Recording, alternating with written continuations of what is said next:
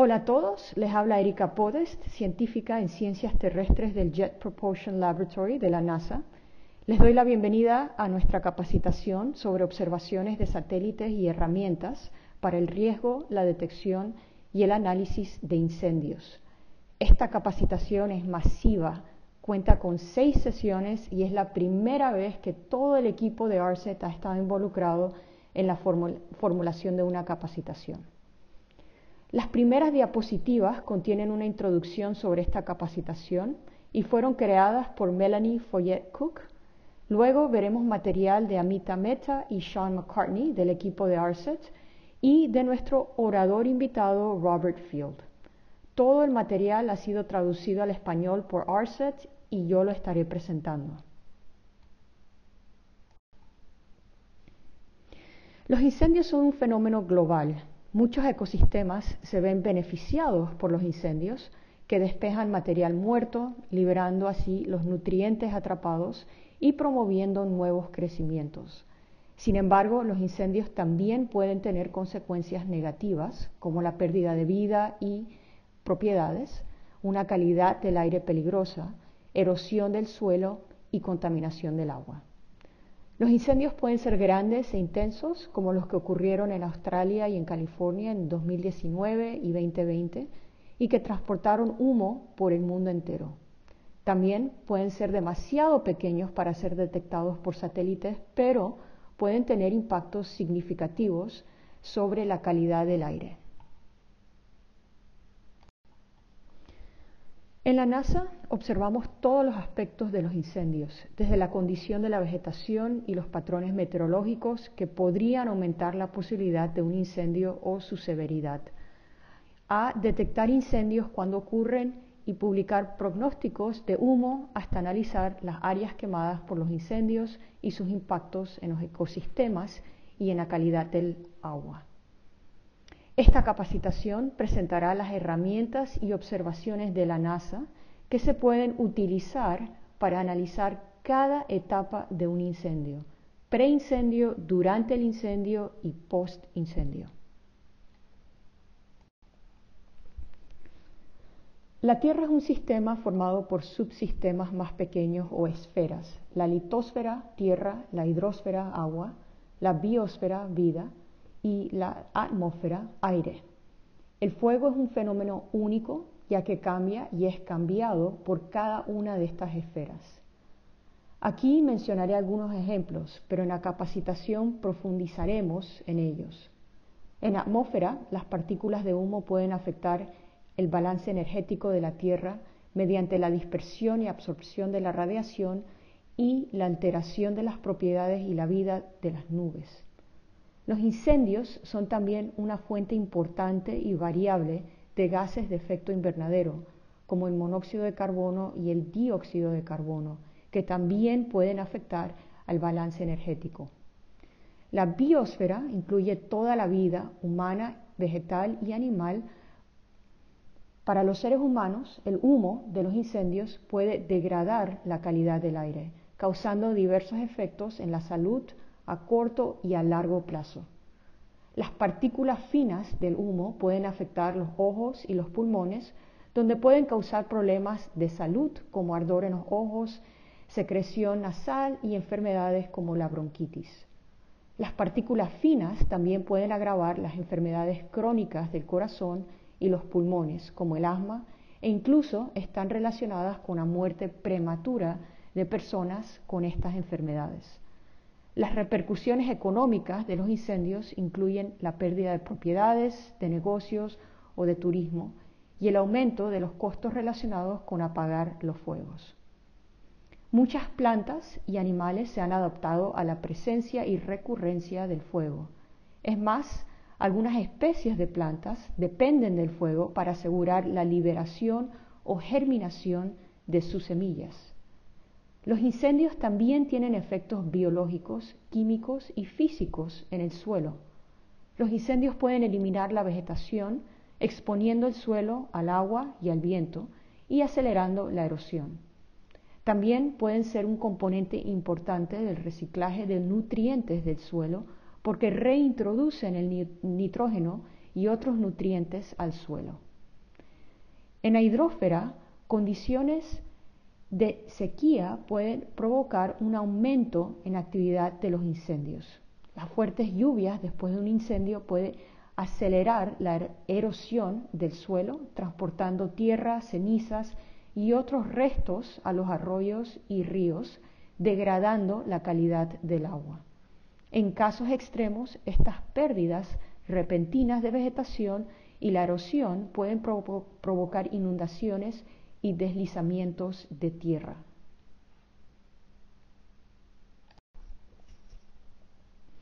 Los incendios arden con diferentes intensidades y frecuencias, según el tipo y el estado de su combustible.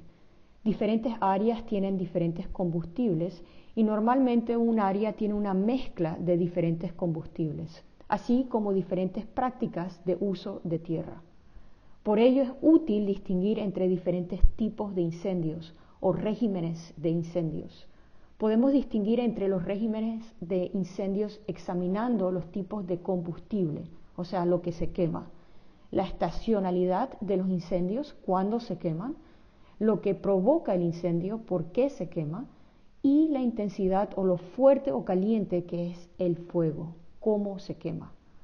Una región determinada puede experimentar todos estos tipos de incendios y hablaremos un poco más de ellos en las siguientes diapositivas. Cuando piensan en incendios, puede que piensen en enormes incendios forestales como los de Australia en 2019-2020 o los de California en Estados Unidos en 2020. Estos son ejemplos de incendios forestales, que son incendios no planificados causados por rayos o por accidente por los seres humanos o, a propósito por los seres humanos también. Se contraponen a los incendios prescritos, que son incendios causados intencionalmente, normalmente para la gestión del, eh, del terreno o para despejar la vegetación. El término incendio forestal se, se, utiliza en Estados Unidos y describe ambos tipos. Los incendios forestales tienden a ser muy variables de un año a otro, pero suelen ser más peligrosos durante las estaciones secas y cálidas, cuando los incendios pueden propagarse más rápidamente y ser difíciles de controlar. Los incendios por deforestación son los que se producen como parte del proceso de conversión de los bosques tropicales en tierras que pueden utilizarse para la ganadería o la agricultura. Estos incendios son comunes en el Amazonas y en Indonesia, por ejemplo. Los bosques tropicales son talados y luego se secan durante un mes aproximadamente antes de ser quemados. Estos incendios tienden a alcanzar su punto pico durante las estaciones secas y son totalmente provocados o causados por el hombre. Los incendios forestales o por deforestación tienden a ser más calientes e intensos y por lo tanto son más fácilmente detectables por satélite algo de lo que hablaremos en detalle más adelante en la sesión 3 de esta capacitación. Los incendios forestales que queman combustibles como arbustos y hierbas tienden a ser más pequeños y menos calientes, por lo que son más difíciles de detectar desde el espacio.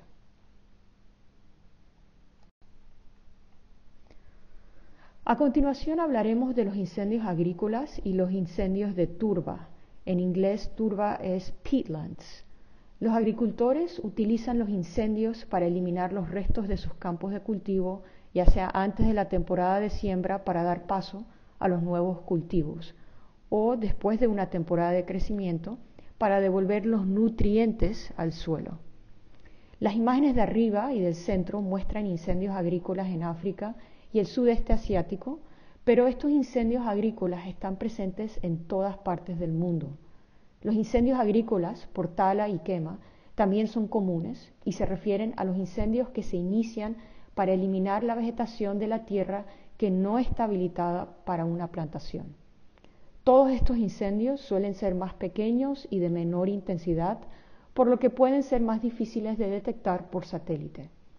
En la cuarta sesión de esta capacitación veremos cómo esto puede afectar nuestra capacidad para modelar el humo de estos incendios. La turba o peatlands es un tipo de suelo formado por una acumulación de vegetación en descomposición u otro material orgánico. La imagen que aparece aquí en la parte inferior derecha muestra los incendios de turba que arden en Siberia. Cuando los incendios de turba arden, pueden ocurrir bajo tierra y ser muy difíciles de apagar. Esto puede resultar en periodos prolongados de combustión y dado el alto contenido de carbono en la turba, también pueden resultar en periodos prolongados de humo. Los incendios de turba tienden a ser más bien latentes, ardiendo a temperaturas mucho más bajas, lo que hace que también sean extremadamente difíciles de detectar por satélite. En esta capacitación no hablaremos mucho de este tipo de incendios, pero son una fuente importante de emisión de carbono y en el caso de Siberia pueden acelerar el deshielo del permafrost.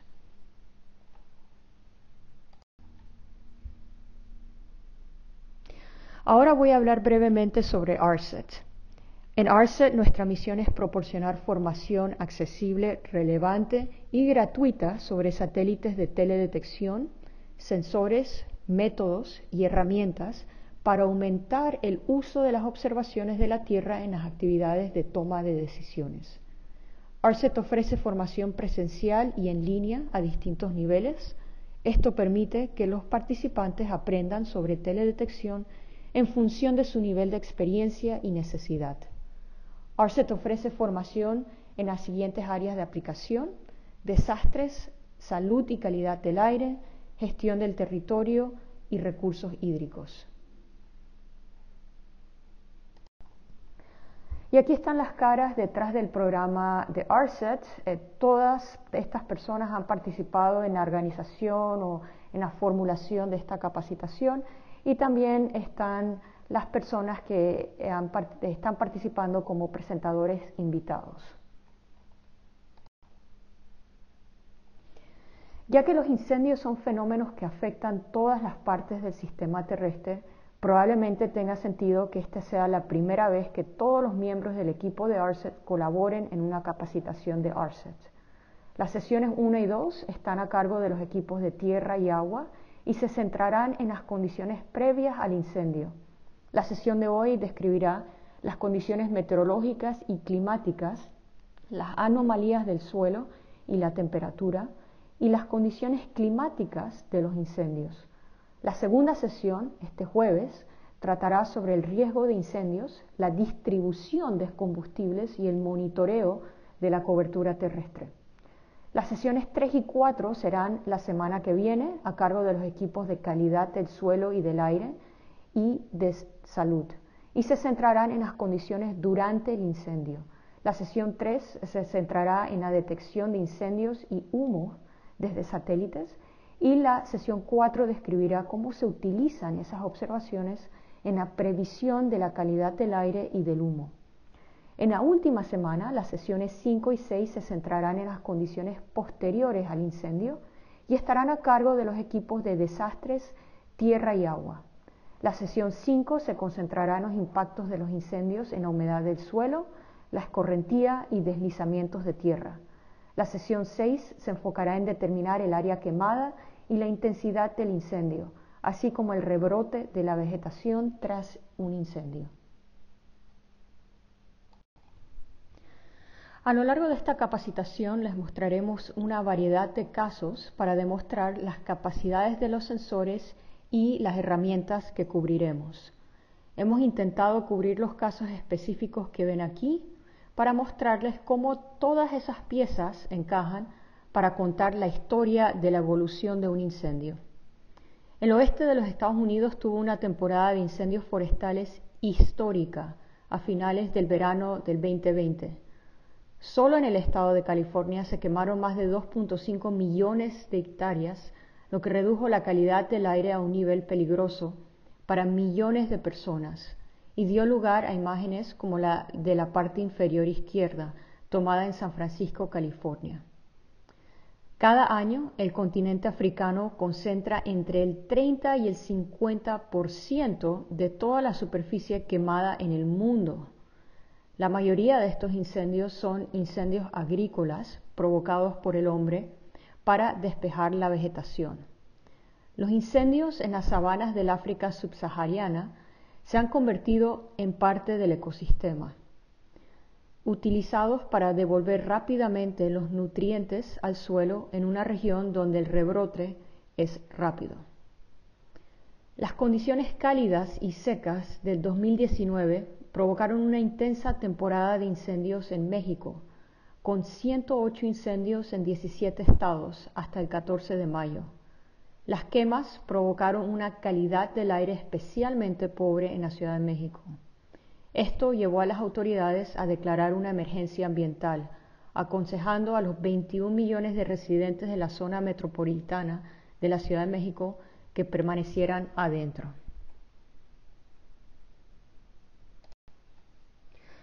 A continuación, enumeramos los objetivos generales de formación de esta capacitación. Esperamos que al final de la capacitación puedan comprender la terminología relacionada con los tipos de incendio y sus componentes, antes, durante y después, las condiciones climáticas y biofísicas antes, durante y después del incendio, los satélites e instrumentos utilizados en el procesamiento de la ciencia del fuego, las aplicaciones de la teledetección pasiva y activa para incendios, cómo visualizar las emisiones y las partículas provenientes de los incendios, el uso de herramientas para incendios activos, emisiones y áreas quemadas, y finalmente, cómo adquirir datos para realizar análisis en un área de estudio determinada.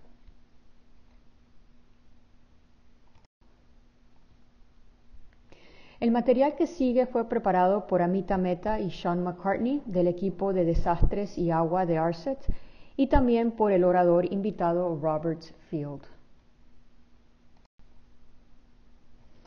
Esta siguiente sección fue armada y presentada en inglés por Amita Meta y traducida al español por el equipo de ARCET.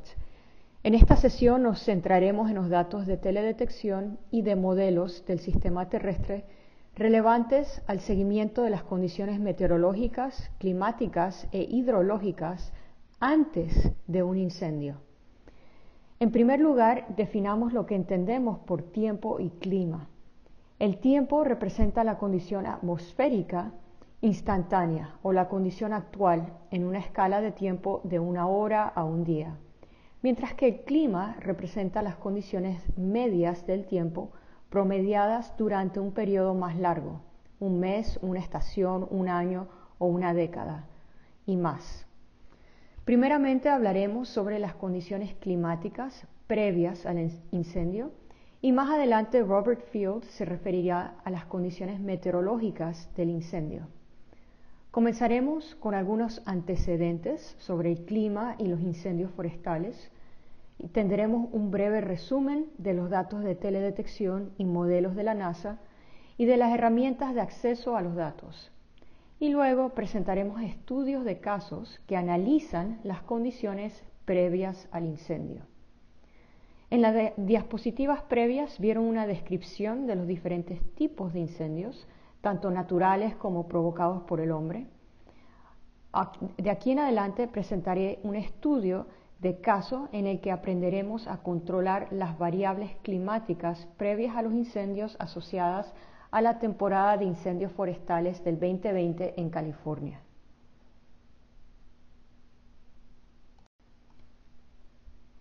Los incendios forestales son el resultado de una compleja conexión entre las condiciones meteorológicas y climáticas y los procesos de los ecosistemas. Numerosos estudios han indicado que la frecuencia, la extensión espacial y la duración de los incendios muestran una estrecha relación con la variabilidad climática en escalas temporales, que van de estacionales a interanuales y decadales. Estas referencias están aquí y al final de la presentación. Estas figuras de Fasuyo Erao muestran cómo el niño puede afectar los cambios de temperatura y los cambios en la probabilidad de incendios en Norteamérica, Australia y Suramérica. Las primeras dos columnas en la imagen superior muestran los cambios de temperatura en el siglo XX según el modelo del Centro Europeo y el modelo del Sistema Comunitario de la Tierra de los Estados Unidos, o CSM, CESM. La última columna muestra la proyección de los cambios de temperatura en el siglo XXI según el CESM. La figura inferior muestra los cambios correspondientes en la probabilidad de incendios en los siglos XX y XXI en relación a los cambios de temperatura. Este estudio concluye que la intensificación de las temperaturas extremas en las regiones terrestres y la retroalimentación tierra-atmósfera probablemente, desempeñan un papel importante en las olas de calor y en la frecuencia de los incendios forestales que se producen en estas regiones. El cambio climático también se considera responsable en el aumento de la actividad de los incendios en todo el mundo.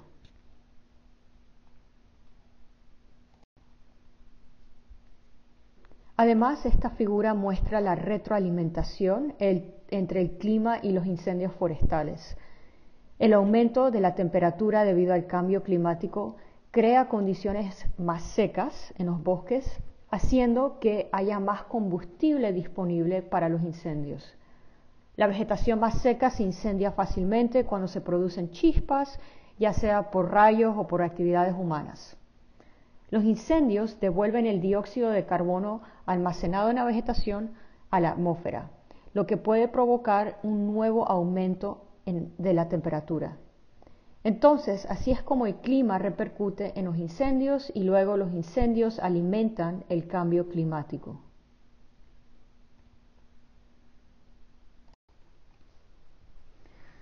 Esta figura muestra las variables que influyen sobre los incendios a diversas escalas temporales espaciales, dependiendo del régimen climático interanual a decanal.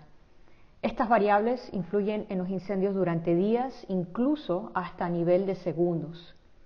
Y aquí pueden ver cómo cambia la escala espacial.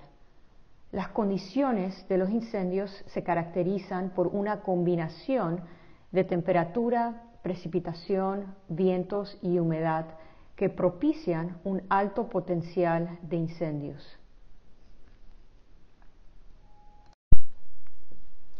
Además de la temperatura, las precipitaciones también influyen en las actividades de los incendios. Se ha observado que el exceso de precipitaciones durante la estación de crecimiento aumenta el crecimiento de la vegetación que se, que después se convierte en combustible para el fuego en la siguiente estación seca.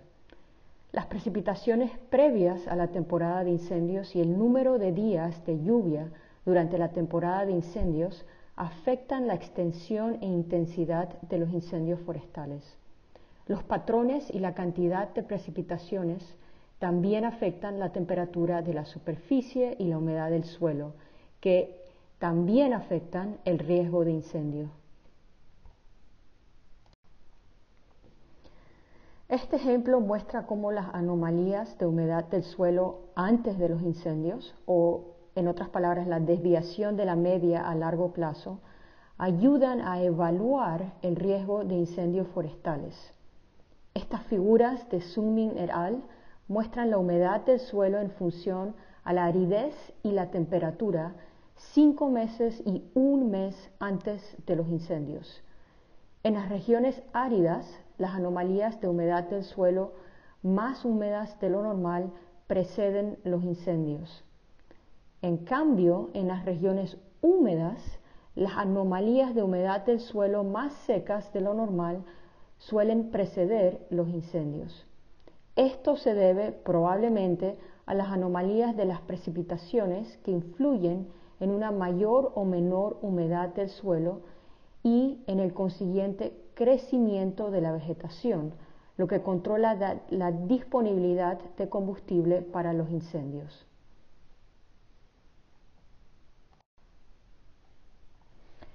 El monitoreo de las precipitaciones, la humedad del suelo, la temperatura, la humedad, los vientos y la vegetación en escalas temporales del tiempo y el clima pueden ayudar a evaluar el riesgo de incendio a corto y a largo plazo.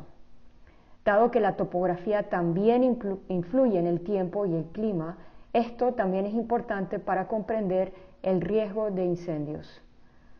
Los modelos de teledetección y del sistema terrestre de la NASA proporcionan estos datos desde escalas temporales diurnas hasta plurianuales y también proporcionan pronósticos, lo que permite la evaluación del riesgo antes del incendio, el seguimiento durante el mismo y la evaluación del impacto después del incendio. A continuación veremos las fuentes y herramientas para obtener las cinco principales variables, en particular durante la época previa al incendio. La vegetación y la topografía se tratarán en sesiones posteriores.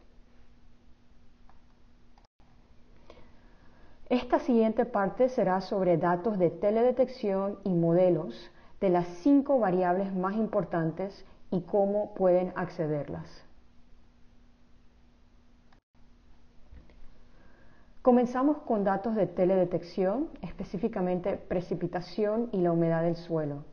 Esta tabla muestra un resumen de los satélites y sensores para estos datos. Los detalles de los satélites y sensores pueden encontrarse en la capacitación de ARSET con el enlace en la parte inferior de esta positiva. La precipitación derivada de la combinación de TRIM y GPM y otros satélites es una base de datos de más de 20 años con una resolución espacial de un décimo de grado. La humedad del suelo está disponible por medio de SMAP, que tiene resoluciones espaciales de 9 y 36 kilómetros. Aquí tenemos un resumen de modelos y datos disponibles, incluyendo todos los parámetros meteorológicos y climáticos, como la precipitación, la temperatura, la humedad, los vientos y la humedad del suelo. Los modelos de MERA2, GEOS 5 y NLDAS, descritos en detalle en los enlaces en la parte inferior, proporcionan todos los datos meteorológicos y climáticos relevantes. Cada modelo tiene diferentes resoluciones espaciales, pero todos proporcionan datos de más de 20 años, lo que resulta muy útil para monitorear las variaciones climáticas estacionales y a largo plazo. En las siguientes diapositivas veremos brevemente las principales características de los satélites y modelos que acabamos de resumir. Utilizaremos algunos de estos datos para analizar las condiciones climáticas previas a los incendios en los estudios de caso y luego utilizaremos algunos de estos mismos datos para el monitoreo de las condiciones de los incendios. Además, algunos de estos datos se utilizarán en las siguientes sesiones de esta capacitación, que se centrarán en las fases previas, durante y posteriores al incendio, para analizar las condiciones de la vegetación y del combustible del incendio, así como los impactos en la calidad del aire.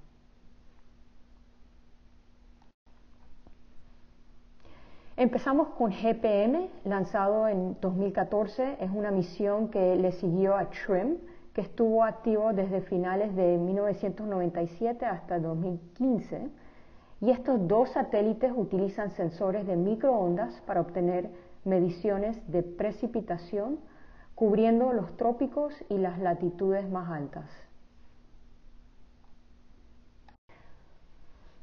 Los datos de precipitación que utilizaremos hoy son la versión 6 de iMerge, derivados de la combinación de datos de TRIM, GPM, junto con los otros satélites que ven en la figura en esta diapositiva. Hay varias versiones de iMerge con diferentes latencias y aplicaciones. Nosotros utilizaremos la versión final o final para nuestros estudios de caso.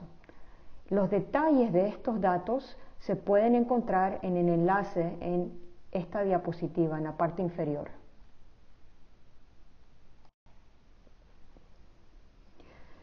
El satélite SMAP se lanzó en el 2015. Mide la humedad del suelo en la superficie y en la zona de las raíces.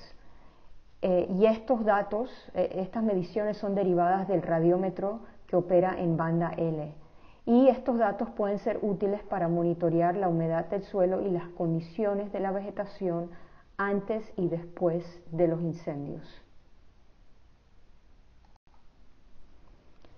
GEOS 5 tiene múltiples modelos y opciones de configuración, incluyendo opciones de configuración de modelos atmosféricos, oceánicos y modelos integrados, al igual que un modelo de química atmosférica, los cuales proporcionan datos en tiempo casi real y de pronóstico de hasta cinco días. Los datos meteorológicos están disponibles a intervalos de una hora.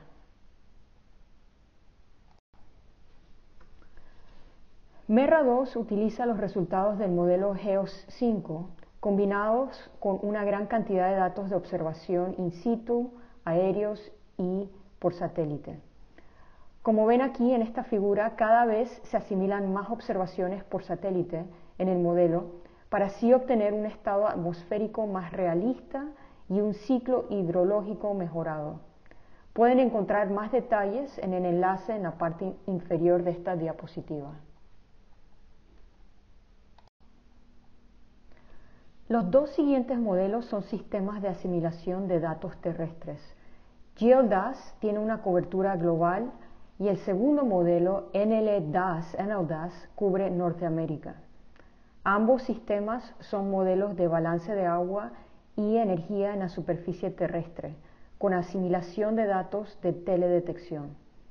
Ambos utilizan datos meteorológicos y la radiación superficial de varias fuentes de datos satelitales y modelos atmosféricos y proporcionan archivos de salida con datos integrados de la humedad del suelo, la evapotranspiración, la escorrentía superficial y subsuperficial y el equivalente agua de nieve.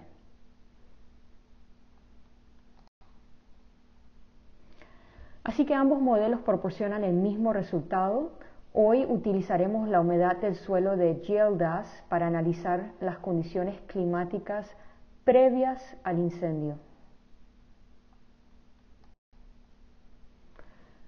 A continuación veremos cómo pueden acceder los datos que acabo de cubrir utilizando herramientas en línea. Aquí tenemos un resumen de las herramientas para adquirir los diferentes datos. Los datos de iMerge, Merra2 y ELDAS están disponibles en Giovanni, que es una herramienta de análisis y visualización en línea, y también por medio del Guest. Los datos de humedad del suelo de SMAP están disponibles por medio de Appears, mientras que los datos de GEO5 tienen su propio portal de acceso para el análisis y pronóstico meteorológico.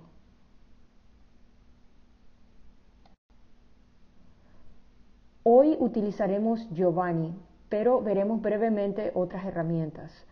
Recomendamos el portal de Justice para la descarga masiva de datos. También tengan en cuenta que para cualquiera de estas herramientas es necesario registrarse por medio de NASA Earth Data. Pueden registrarse en NASA Earth Data por medio del enlace en esta diapositiva y eh, se pueden registrar sin costo.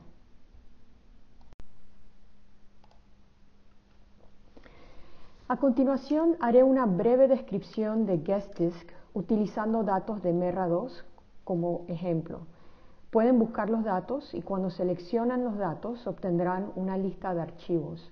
Y pueden ver que hay múltiples datos de MERRA. Por ejemplo, he elegido eh, la temperatura media mensual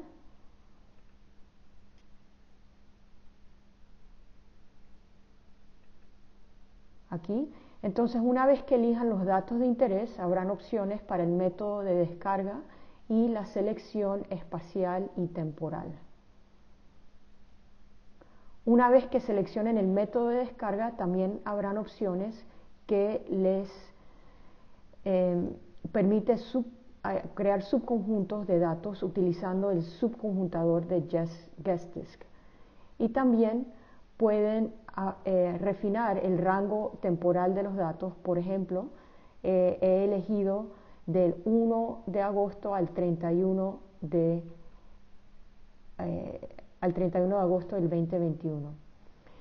Pueden elegir una región espacial, las coordenadas mostradas aquí son para California, pero pueden hacer clic en el enlace y abrir un mapa en el que pueden dibujar una caja alrededor de cualquier región de interés.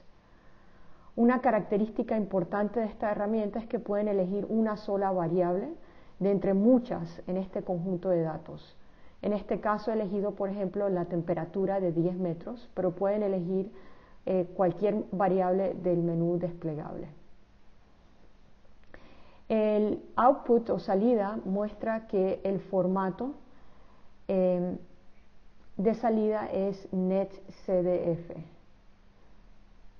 ¿Okay? Entonces, una vez que seleccionan todas las opciones y hacen clic en obtener datos, pueden obtener una lista de URLs, URLs para los datos que eligieron con las variables que eligieron y luego pueden utilizar eh, wget em, para, o, curl para descargar los datos.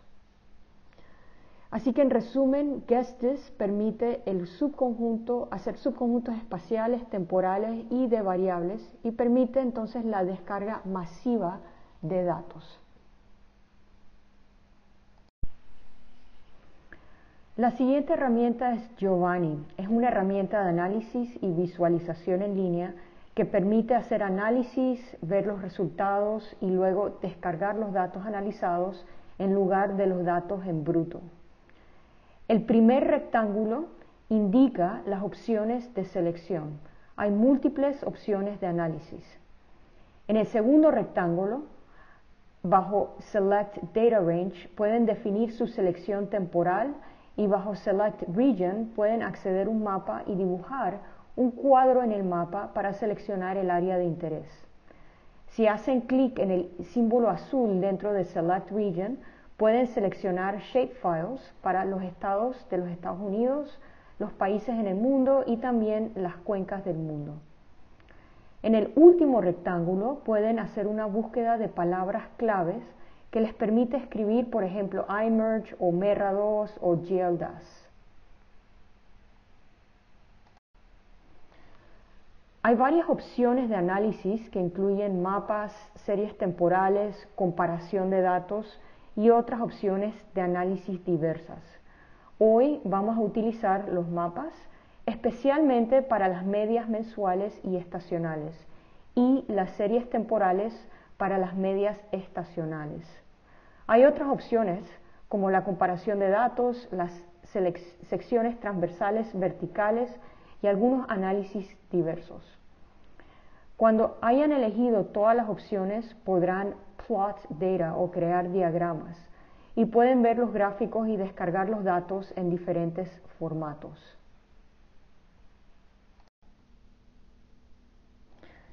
Aquí tenemos un ejemplo sencillo para elegir los datos de iMerge Final para el análisis climático que haremos hoy. MERRA 2.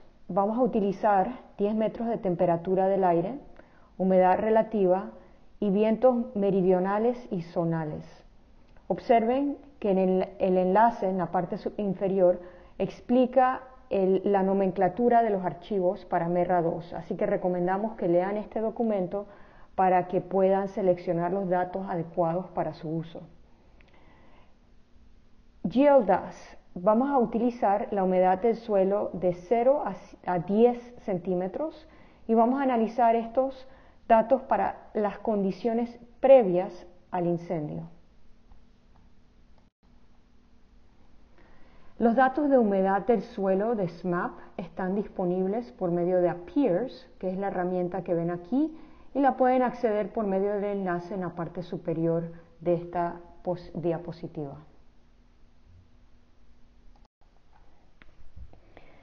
Es una herramienta interactiva que permite crear subconjuntos espaciales.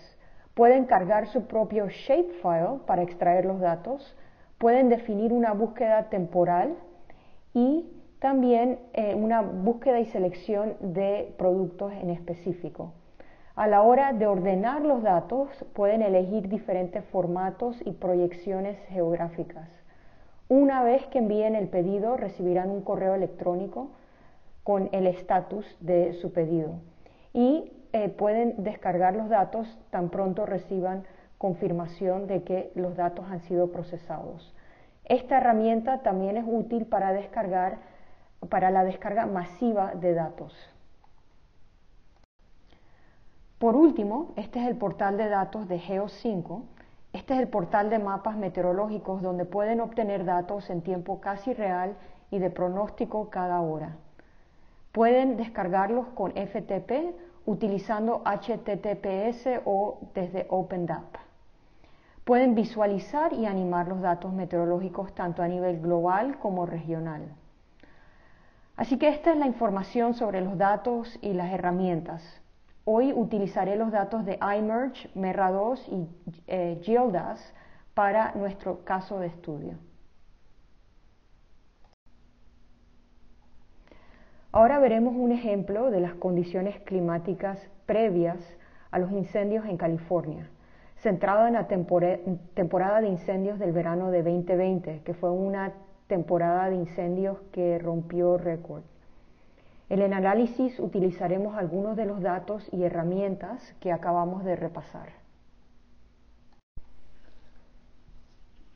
Esta figura muestra que hay un incremento sostenido en el número de incendios en el oeste de Estados Unidos entre 1950 y el 2017. Además, la variabilidad interanual de la frecuencia de los incendios es evidente en el oeste de los Estados Unidos. Estos son los datos de frecuencia de incendios para el estado de California y provienen de fire.ca.gov entre el, 2008 y 2020. Muestra que la frecuencia de los incendios osciló entre más de 6.000 incendios a 9.200 incendios y el 20 fue, 20 fue uno de los años con mayor frecuencia de incendios. La superficie quemada varía entre varios cientos de miles de acres a más de un millón de acres.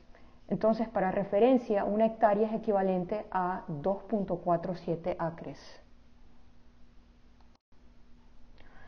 En el 2020 se observó una frecuencia de incendios superior a la media, con más de 8.000 incidentes y 1.443 acres de superficie afectada por incendios. En comparación con la media de cinco años, el 2020 tuvo más incidentes y una mayor superficie quemada. Esta página tiene un mapa interactivo que muestra las ubicaciones de los incendios en California en el 2020. Al hacer clic en cualquier ubicación donde ocurrió un incendio, se puede obtener información sobre ese evento. Los incendios en California suelen producirse entre mayo y octubre-noviembre, pero la frecuencia aumenta después de julio. Este mapa muestra que hubo un aumento en actividad de incendios en el norte de California, especialmente entre el 18 y el 23 de agosto del 2020. Esta animación es de Worldview de la NASA y muestra las localizaciones por día de los incendios durante agosto del 2020, observadas por medio del sensor MODIS. La información sobre MODIS y los detalles de Worldview serán presentados en las sesiones 2 y 3 de esta capacitación. Aquí pueden ver la frecuencia y el área de los incendios en el norte de California, entre las ciudades de Eureka y Redding y estos incendios son mucho más altos, la frecuencia es mucho más alta durante el 18 al 20, 23 de agosto. La región resaltada por el círculo rojo es donde hubo una mayor actividad de incendios en agosto. Se encuentra en las montañas de Klamath y está cubierta de bosques. A continuación, Veremos primero las condiciones climáticas medias a largo plazo en California para las temporadas anteriores al incendio, es decir, durante las temporadas de invierno y primavera. Veremos cómo las temporadas anteriores al incendio de 2020 fueron diferentes y cómo eso indicó el potencial de aumento de la actividad de los incendios en la siguiente temporada de verano. Aquí vemos las series temporales estacionales de la temperatura de 10 metros sobre la superficie, esto es de MERRA 2, en la imagen del centro, las precipitaciones de iMerge y a la derecha la humedad del suelo desde la superficie hasta los 10 centímetros de profundidad de GeoDAS. Todo esto para los años del 2001 al 2020. Hemos utilizado Giovanni para analizar y descargar los datos. Estas series temporales muestran valores promedios sobre el estado de California para las cuatro estaciones en diferentes colores, diciembre, enero, febrero en azul, marzo, abril, mayo en rojo, etc. California es un estado que tiene un clima eh, tipo mediterráneo, con inviernos húmedos y fríos y veranos cálidos y secos. Hay una variabilidad interanual significativa en las precipitaciones y la humedad del suelo. Las dos flechas que ven en la gráfica del centro marcan los años del niño y muestran precipitaciones por debajo de la media. Aquí vemos los mapas de temperatura media de 20 años en las estaciones de invierno y primavera anteriores a los incendios. Esto es entre el 2001 y 2020. Eh, y estos preceden la época de verano de los incendios en el 2020. Pueden notar el clima más cálido en el sur y el centro de California y más frío en las regiones montañosas en el norte y el este. Si observamos las precipitaciones de iMerge en el invierno y la primavera, podemos ver que la precipitación es mucho mayor durante el invierno, casi un 40-50% más que durante la primavera. El patrón es similar en el sentido de que hay menos lluvia en la parte sur y este. En la región central y en la parte norte hay más precipitación. Esta es la condición climatológica general del estado de California. Aquí vemos la humedad del suelo de GeoDAS para el invierno y la primavera. En general podemos ver que es mucho más seco en el sur de California y húmedo en las zonas del norte del estado. La estación de invierno tiene una humedad del suelo ligeramente más alta porque es la estación o la temporada lluviosa. Aquí vemos cómo las estaciones de invierno y primavera del 2020 fueron diferentes de las condiciones climáticas normales. Utilizando los datos descargados de Giovanni en QGIS, hemos calculado las anomalías estacionales de temperatura, precipitación y humedad del suelo para las estaciones de invierno y primavera del 2020. La estación de invierno está en el panel superior y la estación de primavera está en el panel inferior. En la temporada de invierno casi todo el estado tuvo temperaturas más cálidas de lo normal y tuvo un déficit de precipitaciones. Las temperaturas fueron más cálidas de lo normal y las precipitaciones y la humedad del suelo fueron inferiores a lo normal en ambas estaciones en el norte de California, donde se produjeron los incendios de agosto. Por último, destacamos las zonas en las que las condiciones climáticas indican un potencial de aumento del riesgo de incendio, es decir, donde las temperaturas previas a la temporada de incendios estaban por encima de lo normal y las precipitaciones y la humedad del suelo estaban por debajo de lo normal. Como ven aquí, tanto el invierno como la primavera anteriores a la temporada de incendios muestran el norte de California con esta condición. Es importante señalar que el combustible de la vegetación seca durante el verano juega un papel importante en la actividad de los incendios. Veremos la disponibilidad de combustible antes y durante el incendio en la próxima sesión. Junto con las condiciones climáticas y la disponibilidad de combustible para incendios, los mapas de riesgo de incendios pueden ser mejorados aún más. Entonces, vimos que las condiciones climáticas anterior al incendio en el 2020 eran abnormalmente cálidas y secas.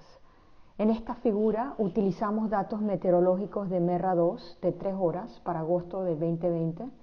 Los días de fuego activo del 18 al 23 de agosto están marcados en rojo en la gráfica inferior. Justo antes de este periodo hay temperaturas más cálidas, disminución de la humedad relativa atmosférica y un periodo de vientos más suaves.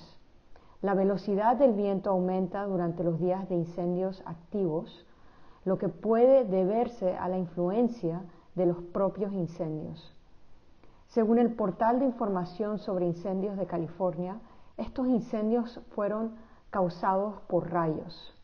El gráfico del medio son los datos de precipitación de media hora de iMerge en agosto y muestran un evento en el que la cantidad de lluvia fue insignificante, pero que sugiere la posibilidad de que se hayan producido relámpagos justo en el periodo en el que se iniciaron los incendios.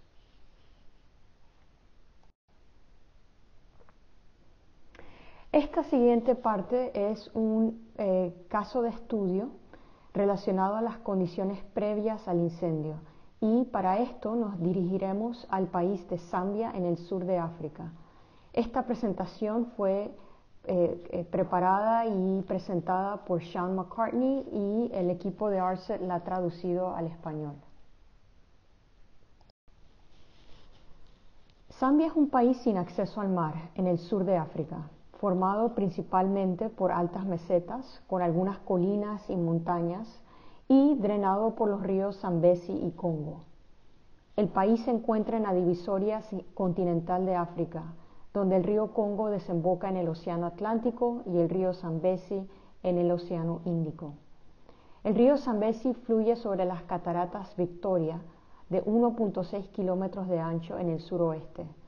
Al norte del país se encuentra el lago Tanganyika, es un lago de agua dulce y es el lago de agua dulce más largo del mundo.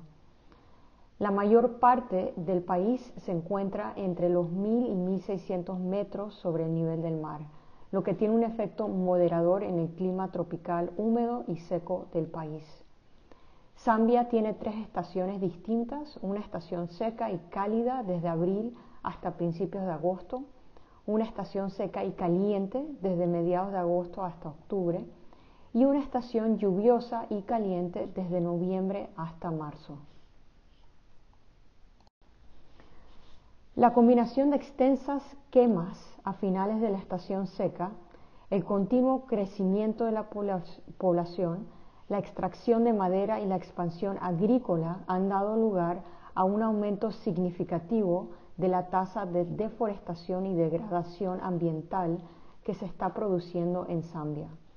La presencia de plantas adaptadas al fuego y los estudios paleoecológicos indican que el fuego ha sido utilizado por seres humanos en estas áreas durante milenios y como tal está culturalmente arraigado y ha contribuido a dar forma a gran parte del paisaje actual de Zambia, dominado por vastas extensiones de vegetación propensa al fuego, incluyendo sabanas arboladas y pastizales. El fuego es una herramienta fácilmente disponible y poco costosa que las poblaciones rurales de Zambia pueden utilizar para participar en una multitud de actividades tradicionales como para despejar vegetación para la agricultura, la mejora de los pastos para la ganadería, la cacería y para estimular el crecimiento de productos no maderables del bosque. El fuego puede ser una herramienta de gestión eficaz cuando se aplica con criterio y por lo tanto no debería excluirse como una herramienta para aquellas comunidades que lo han utilizado tradicionalmente para cazar, cultivar y obtener productos forestales no madereros y para gestionar los bosques. Los estudios de Sikaundi y Hollingsworth et al. han demostrado que aproximadamente el 25% o una media de 188 mil kilómetros cuadrados de la superficie total de Zambia se ha quemado anualmente entre 2007 y 2012. Para mejor caracterizar los incendios en Zambia, utilizaremos el Sistema Global de Información sobre Incendios Forestales, o GWIS, como se le conoce por sus siglas en inglés. GWIS reúne diferentes fuentes de información existentes tanto a nivel regional como nacional, para proporcionar una evaluación completa de los regímenes de incendios y sus efectos. GWIS también proporciona herramientas para apoyar la gestión operativa de los incendios forestales desde la escala nacional hasta global. En la segunda sesión de esta capacitación en línea mostraremos una demostración de GWIS para la cobertura terrestre y los combustibles en África subsahariana. Otra característica del panel de control de GWIS es que pueden visualizar mapas de diferentes características o parámetros de incendios para un país en específico o para una región. Estos gráficos se pueden personalizar para un solo mes o año o rango de años de área quemada entre 2002 al 2019. También pueden seleccionar un año en específico y calcular el área total que fue quemada. Estos gráficos pueden ser utilizados para calcular la superficie quemada anualmente y el número de incendios, el promedio de incendios durante el periodo de estudio, la superficie quemada anualmente de acuerdo al tipo de vegetación, el promedio mensual de superficie quemada, así como el tamaño promedio mensual de incendios por año. Cada uno de los gráficos puede ser descargado desde el panel de control de GWIS. El enlace que aparece en la parte superior de esta diapositiva los llevará a la página de GWIS. En la diapositiva hemos incluido un par de ejemplos de Zambia. En el lado izquierdo, el gráfico muestra el promedio mensual de área quemada y número de incendios en Zambia desde 2002 hasta el 2019. En el lado derecho, el gráfico muestra el promedio mensual de área quemada según la cobertura terrestre desde el 2002 hasta el 2019. Tener un acceso rápido a las estadísticas sobre la estacionalidad, la intensidad y la distribución de los incendios ayuda a evaluar el área de estudio y preparar un análisis posterior. Otra característica del panel de control de GWIS es la posibilidad de visualizar mapas a nivel de país o a nivel regional para diferentes parámetros de incendios. Los usuarios tienen la opción de enfocar su búsqueda a cualquier mes y año de superficie quemada entre 2002 y el 2019. También pueden seleccionar un año individual para calcular el área quemada acumulada. Esta diapositiva muestra un mapa de la frecuencia de incendios desde el 2002 hasta el 2019. Al combinarlo con un mapa de cobertura terrestre, pueden ver cuáles regiones y tipos de vegetación se han quemado en distintas ocasiones durante 18 años. Esta información permite entonces comprender cuáles zonas forestales, pastizales y cultivos han experimentado el mayor número de incendios en Zambia. Esta misma evaluación se puede aplicar también a escala regional y mundial.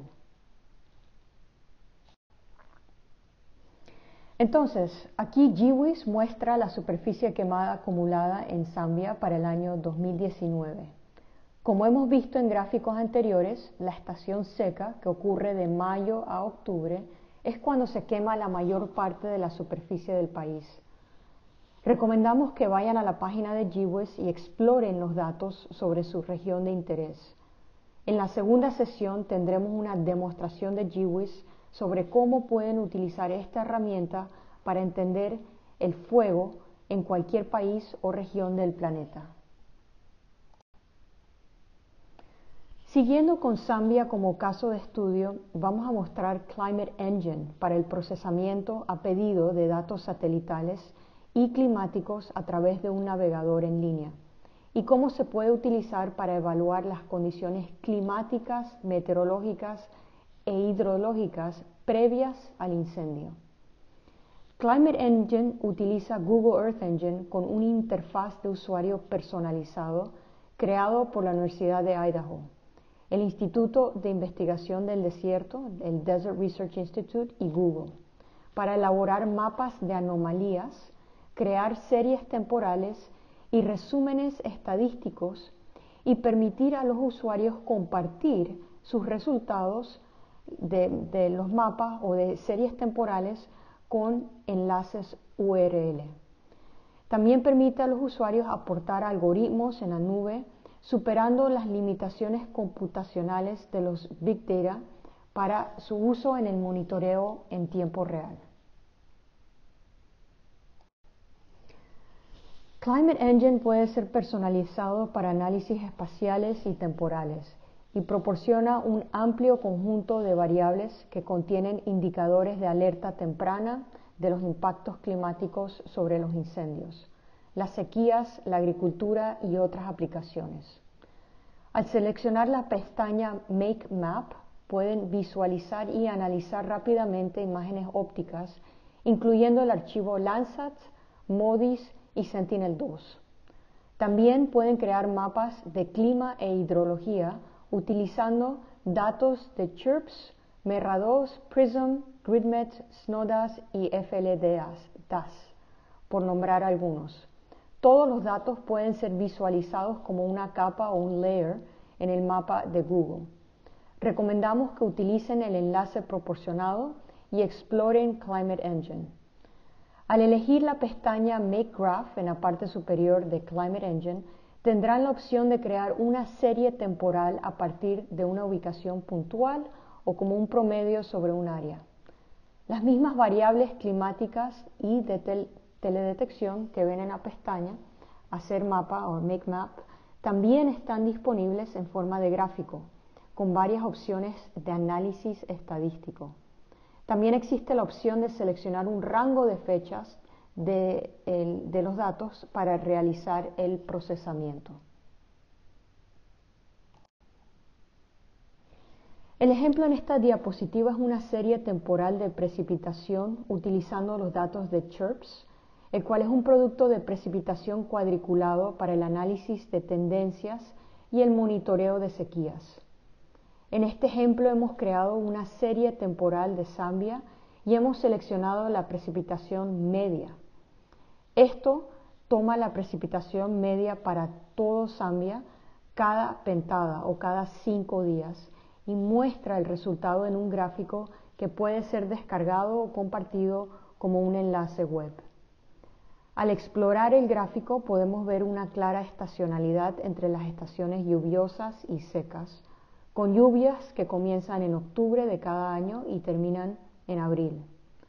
La capacidad computacional de crear una serie temporal de precipitación de cada cinco días a través de esta herramienta en línea en cuestión de minutos es algo muy poderoso y puede utilizarse para entender la climatología de un área de estudio destacando los años húmedos y secos.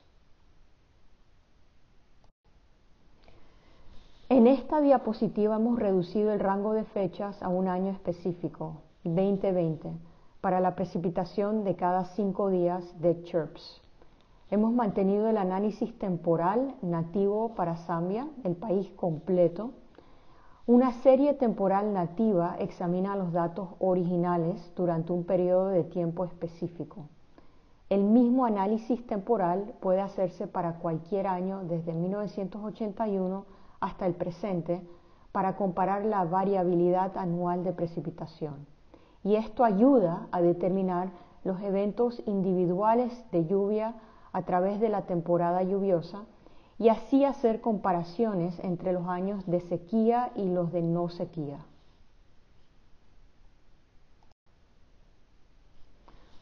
Otra opción que ofrece el Climate Engine es en la creación de una serie temporal resumida de datos climáticos o de teledetección. Una serie temporal resumida permite comparar valores anuales calculados a lo largo de una estación o año, como las medias durante el invierno o anuales. El ejemplo en esta diapositiva muestra la precipitación de cada cinco días de CHIRPS de abril a marzo Utilizando datos temporales de precipitación disponibles de CHIRPS, podemos entonces comparar la precipitación media de Zambia de un año a otro, contrastando rápidamente los años lluviosos y secos a partir de la precipitación total media. También hemos colocado círculos alrededor de los años secos extremos mostrando cómo coinciden con los años del niño. Entender esa conexión entre el niño y las precipitaciones por debajo de la media en el sur de África es muy importante para la seguridad, alimentaria, la mitigación de las sequías y preparación para los incendios. Las siguientes diapositivas muestran los resultados del uso de la pestaña Make Map en Climate Engine para visualizar y analizar rápidamente las variables de teledetección, clima e hidrología. En este ejemplo utilizamos los datos de precipitación de cada cinco días de CHIRPS para calcular el índice de precipitación estandarizado o SPI para Zambia durante la estación lluviosa Así que desde octubre del 2018 hasta abril del 2019. Ese índice de precipitación estandarizado es un índice eh, que es ampliamente utilizado para caracterizar la sequía meteorológica en una serie de escalas de tiempo. Los valores de SPI pueden ser interpretados como el número de desviaciones estándar en que la anomalía observada se desvía de la media a largo plazo. En este caso comparamos la estación lluviosa de 2018 a 2019 con todas las demás estaciones lluviosas en la base de datos que van desde 1981 al 2020. Entonces podemos ver que gran parte del sur de Zambia muestra grandes déficits de precipitación, mostrados en rojo en comparación con las otras estaciones lluviosas de 1981 al 2020. También pueden mapear la variabilidad de la humedad del suelo en un área de interés. En este ejemplo seleccionamos datos del Famine Early Warning Systems Network Land Data Simulation System o FLDAS, FLDAS para analizar la humedad en la superficie del suelo durante la estación lluviosa de Zambia, que va desde octubre del 2018 hasta abril del 2019. En este caso especificamos que Climate Engine calculara la diferencia con respecto a las condiciones medias para identificar las anomalías en humedad del suelo para una estación lluviosa específica. En muchas partes del planeta existe una fuerte correlación entre el momento y la ubicación de baja humedad del suelo y un aumento de incendios. En el mapa podemos ver en rojo que gran parte del sur de Zambia muestra déficits de humedad del suelo en comparación con las estaciones lluviosas de 1981 al 2020. En esta diapositiva seguimos utilizando los datos de FLDAS para mapear la evapotranspiración durante la misma estación lluviosa del 2018 al 2019. La evapotranspiración es la suma de la evaporación de la superficie terrestre más la transpiración de las plantas. Podemos ver que gran parte de Zambia muestra una evapotranspiración más baja en comparación con las otras estaciones lluviosas de 1981 al 2020, lo que indica que las condiciones del suelo son más secas y la evaporación del agua de las hojas de las plantas es entonces menor. Es simplemente otro parámetro más para evaluar las condiciones de sequía y el análisis previo a los incendios en muchas partes del planeta.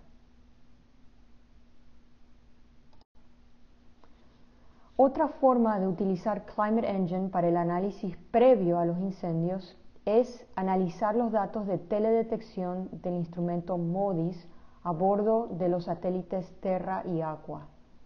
En este ejemplo hemos utilizado Climate Engine para mapear la diferencia porcentual de NDVI con respecto a las condiciones medias durante la estación lluviosa de octubre de 2018 a abril de 2019. El mapa muestra las anomalías en el verdor de la vegetación en el centro y el sur de Zambia en comparación con otras estaciones húmedas del 2000 al 2019. es una indicación de lo estresada que está la vegetación durante un año determinado. Otro ejemplo de uso de datos de teledetección para la evaluación de las condiciones previas al incendio es el uso de la temperatura de la superficie terrestre, de MODIS, para un área de estudio. Y en este ejemplo estamos mapeando la temperatura de la superficie terrestre durante la estación seca en Zambia, que va de mayo a septiembre del 2019. El Climate Engine ofrece diferentes formas de calcular la temperatura de la superficie terrestre al crear un mapa y tienen la opción de mapear los valores medios durante un periodo de tiempo específico. La diferencia con respecto a las condiciones medias, la pendiente de la tendencia y la correlación de la tendencia.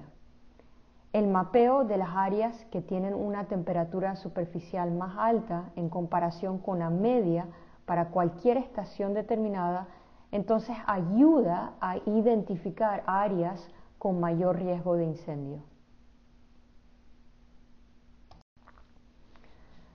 Climate Engine también contiene el índice de área quemada derivado del instrumento MODIS.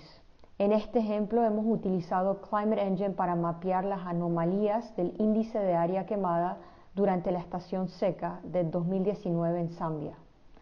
El mapa muestra las diferencias en el índice de área quemada en comparación con el índice de área quemada promedio durante las estaciones secas en Zambia desde el 2000 hasta el 2019.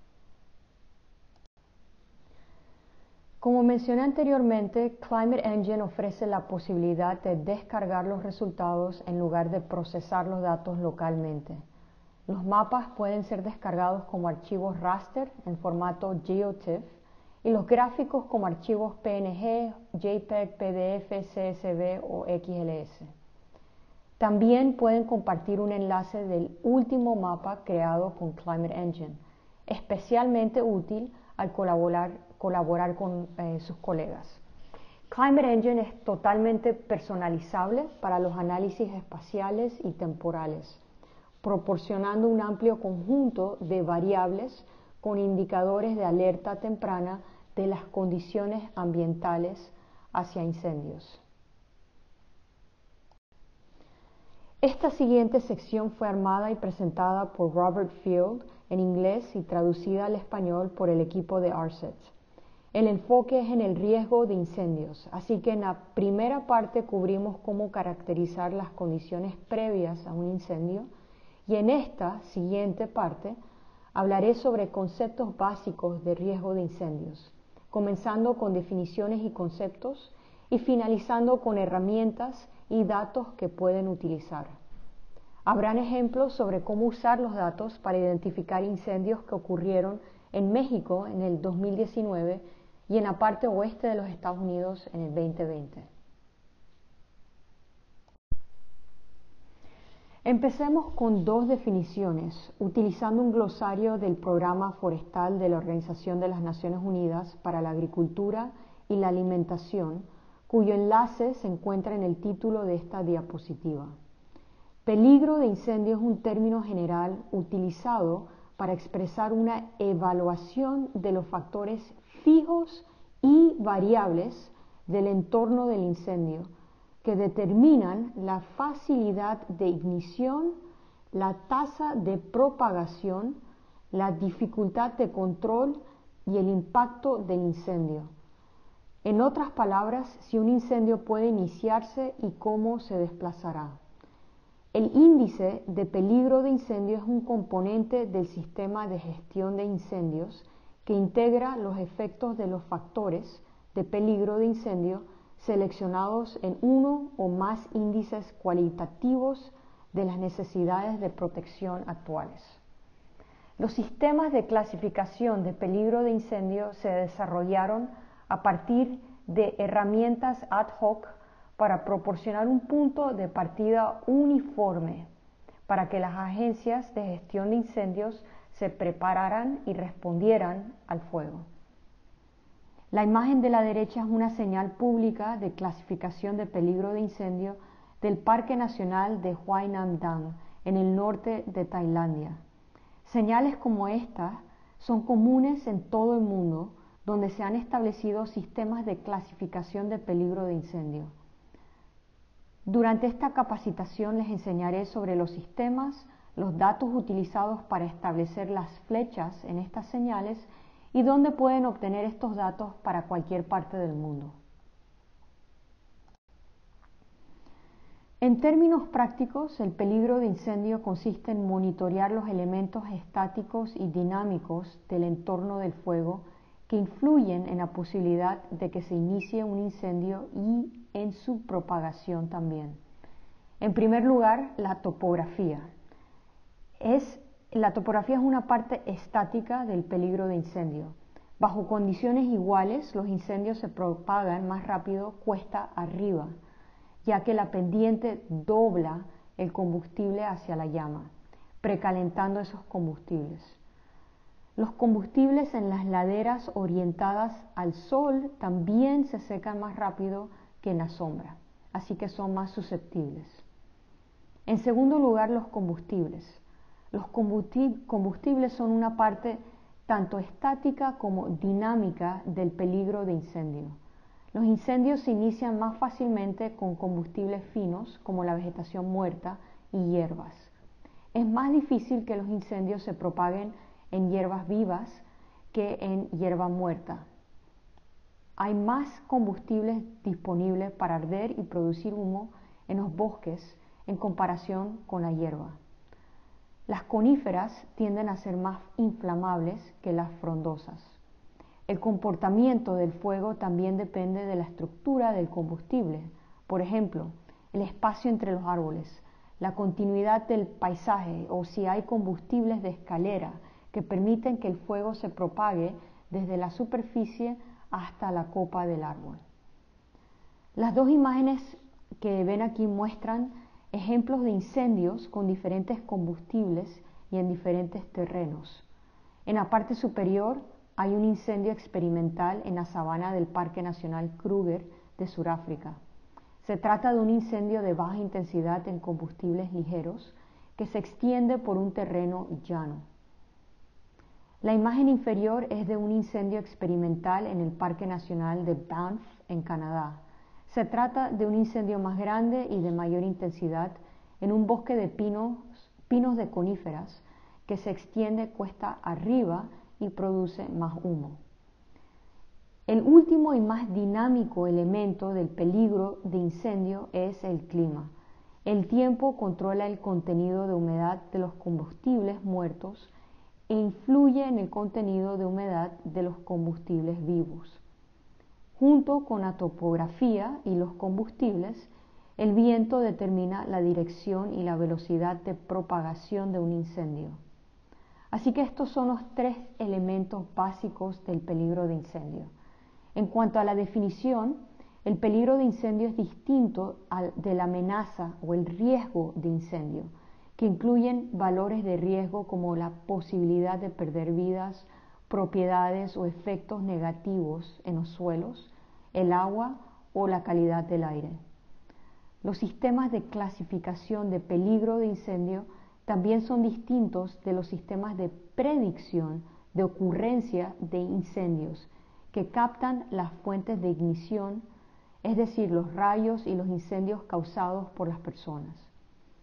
En general, los sistemas de clasificación de peligro de incendio son más relevantes para los incendios forestales y de deforestación en comparación con, por ejemplo, los incendios agrícolas. Alrededor del mundo existen sistemas de clasificación de peligro de incendios simples y complejos. Les daré tres ejemplos, empezando por el más sencillo. La regla empírica del concepto de cruce o crossover concept es una forma ad hoc de identificar las condiciones de sequedad peligrosas. La situación es grave cuando la temperatura en grados centígrados es superior a la humedad relativa. Esta idea se desarrolló a partir de la experiencia de los bomberos en Norteamérica. El segundo ejemplo es el índice Nesterov que se desarrolló en Rusia en la década de 1940. El índice sube cada día en función de la diferencia entre la temperatura y el punto de rocío, que es una medida de la humedad, y se pone a cero si llueve más de 3 milímetros. El, sistema, el tercer ejemplo es el Sistema Nacional de Clasificación de Peligro de Incendios de Estados Unidos, y este es el más complejo. El NFDRS caracteriza el potencial de inicio y comportamiento de los incendios para 40 tipos de combustibles diferentes en Estados Unidos. Requiere de observaciones cada hora de temperatura, humedad, velocidad del viento, precipitaciones, radiación solar y un estado del tiempo determinado por el usuario. También se utiliza para predecir el comportamiento de los incendios individuales.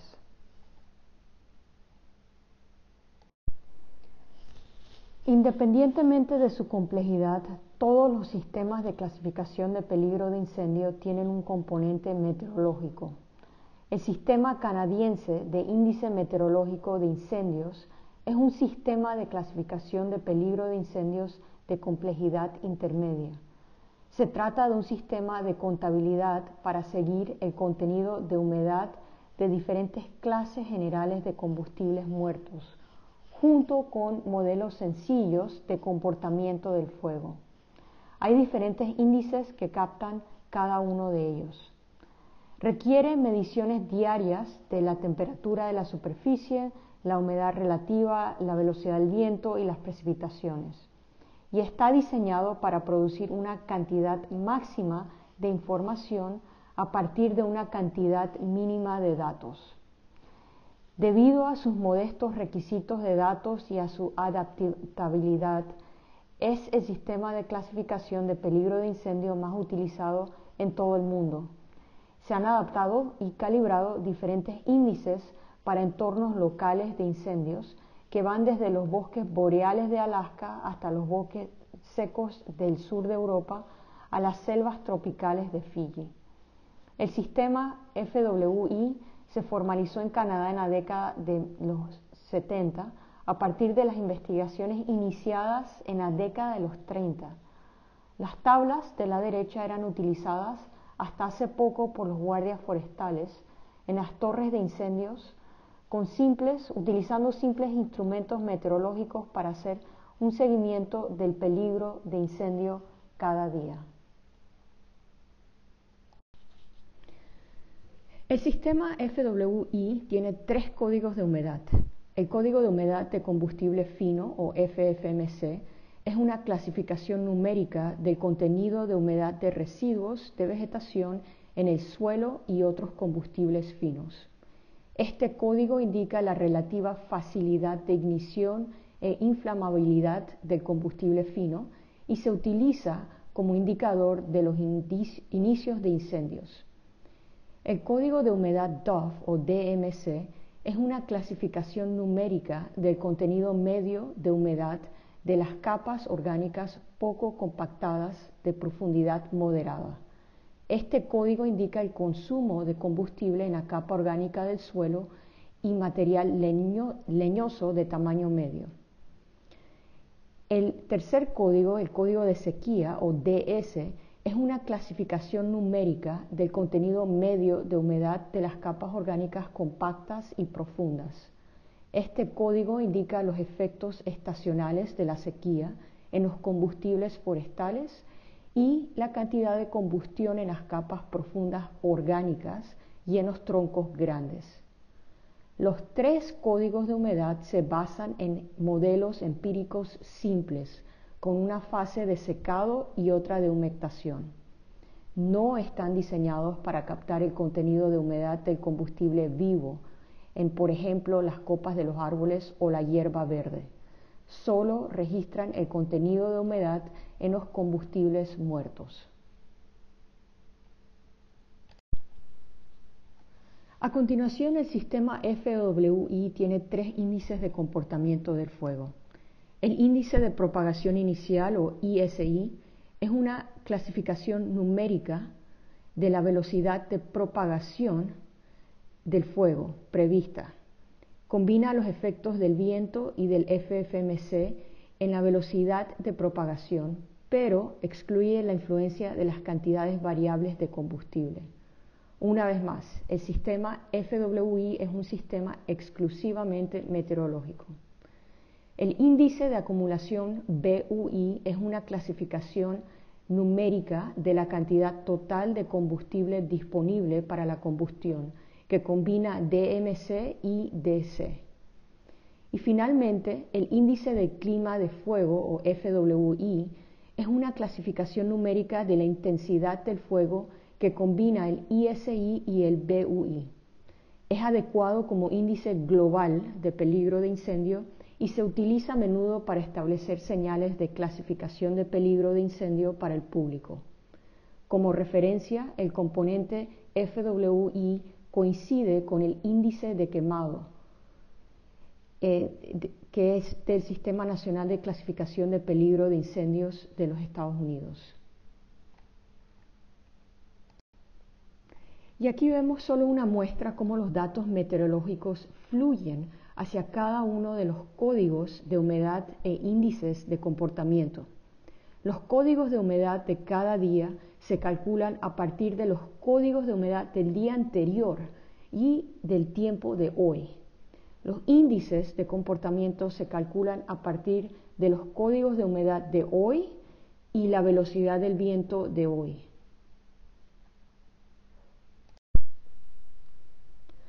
Al comparar los valores de FWI con incendios en diferentes condiciones, se pueden desarrollar guías para la toma de decisiones.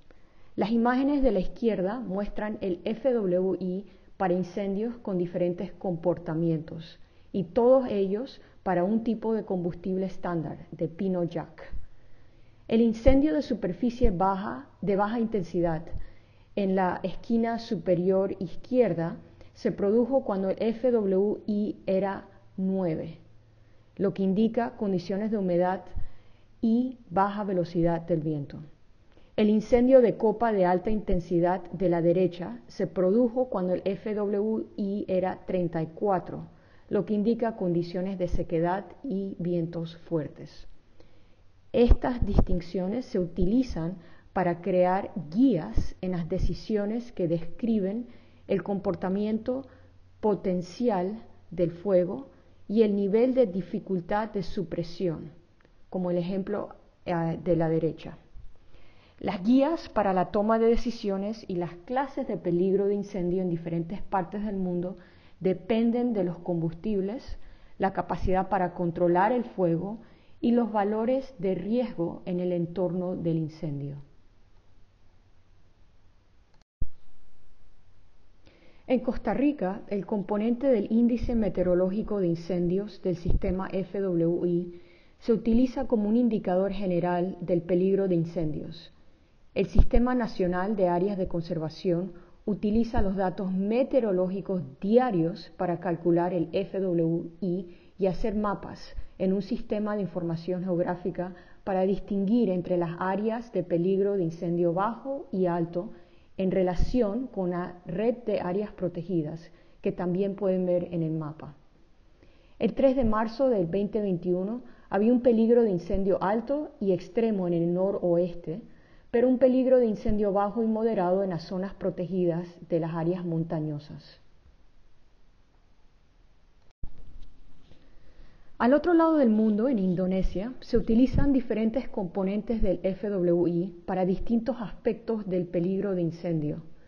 El código de humedad del combustible fino se utiliza para monitorear el potencial de inicio de incendios provocados por el hombre en combustibles superficiales ligeros, como la hierba alta.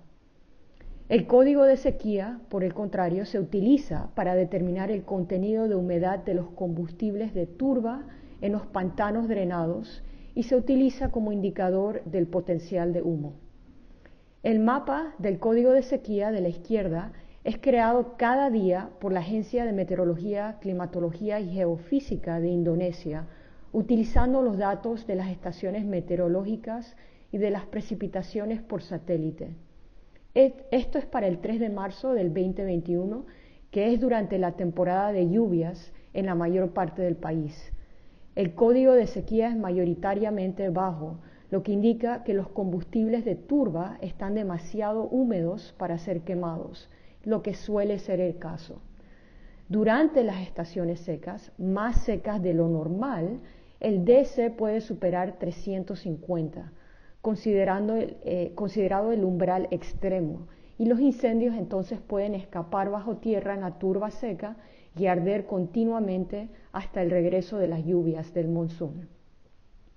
Ahora, desde el punto de vista operativo, esta información se utiliza para identificar las zonas con potencial de producción de grandes cantidades de humos, en las que deben centrarse las medidas de prevención y preparación. Otros organismos, como el Ministerio de Medio Ambiente y Civicultura, también utilizan el sistema FWI a nivel local, empleando los datos de las estaciones meteorológicas para establecer las señales de peligro de incendio a nivel de distrito. No todas las regiones cuentan con sistemas de clasificación de peligro de incendio establecidos o con datos de peligro de incendio disponibles públicamente. La base de datos global de meteorología de incendios o GFWD es un pequeño conjunto de cálculos de peligro de incendios diseñado, por ejemplo, para que aquellos interesados puedan hacer este tipo de mapas para cualquier parte del mundo. Los datos meteorológicos proceden de los modelos de eh, pronósticos meteorológicos de la NASA, de pluviómetros y de datos de precipitación de satélites, algunos de los cuales hemos repasado en esta sesión. La versión de mayor resolución es de un décimo de grado se calcula a partir de los datos de precipitación de iMerge de la NASA y están disponibles en tiempo casi real e históricamente desde el 2001 pero hay versiones de menor resolución que comienzan en 1981. Los datos están disponibles públicamente como archivos NetCDF diarios y mensuales. Los datos del GFWD se pueden encontrar en el NASA Center for Climate Simulation Data Portal y este enlace está en esta diapositiva. El software de GIS Panoply de la NASA es útil para hacer mapas rápidos y eh, utilizando los archivos de NetCDF. También pueden visualizar mapas globales actualizados utilizando el Sistema Global de Información sobre Incendios Forestales del Centro de Investigación Conjunta de la Comisión Europea, junto con los mapas de FWI del Centro Europeo de Predicción Meteorológica a medio plazo. Los mapas globales actualizados también pueden ser visualizados en el portal de Resource Watch del Instituto de Recursos Mundiales, junto con las capas de cobertura del suelo y valores de riesgo.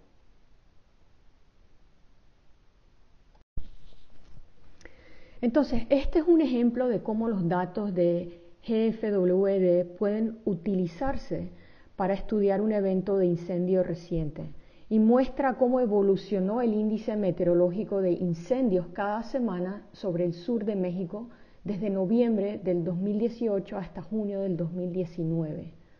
En mayo del 2019 hubo un brote de incendios en el suroeste que envió mucho humo a la Ciudad de México. La animación del mapa de la izquierda muestra el promedio semanal del FWI y los incendios activos de Terra Modis, con las categorías del FWI del Sistema Global de Información sobre Incendios Forestales. El gráfico de la derecha muestra estos valores a lo largo del tiempo para el estado de Guerrero, donde hubo más incendios. Observen cómo la actividad de los incendios aumenta con un FWI más alto desde el principio hasta el pico de la estación seca y luego termina con el inicio de la estación húmeda, que es lo esperado. Sobre el estado de Guerrero no hay actividad de incendios durante noviembre y diciembre de 2018 cuando el FWI es menor a 20. Hubo actividad de incendios dispersa durante enero y febrero del 2019 cuando el FWI subió por encima de 40. A mediados de marzo el FWI fue persistentemente extremo y se produjeron incendios generalizados que ardieron durante abril y alcanzaron su punto máximo a finales de mayo. El FWI y la actividad de los incendios disminuyeron significativamente a principios de junio con el inicio de la temporada de lluvias.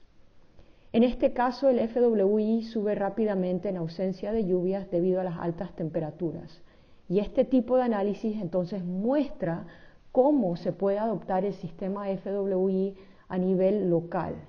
Un FWI mayor de 60 se asocia con brotes de fuegos graves o de, gran intensidad. Entonces, este número será diferente en otras regiones del mundo y tiene un umbral más alto que, por ejemplo, el FWI de 34 que vimos en las imágenes de Canadá, o para establecer la clasificación de peligro de incendio en Tailandia, donde el umbral extremo del FWI es de 28.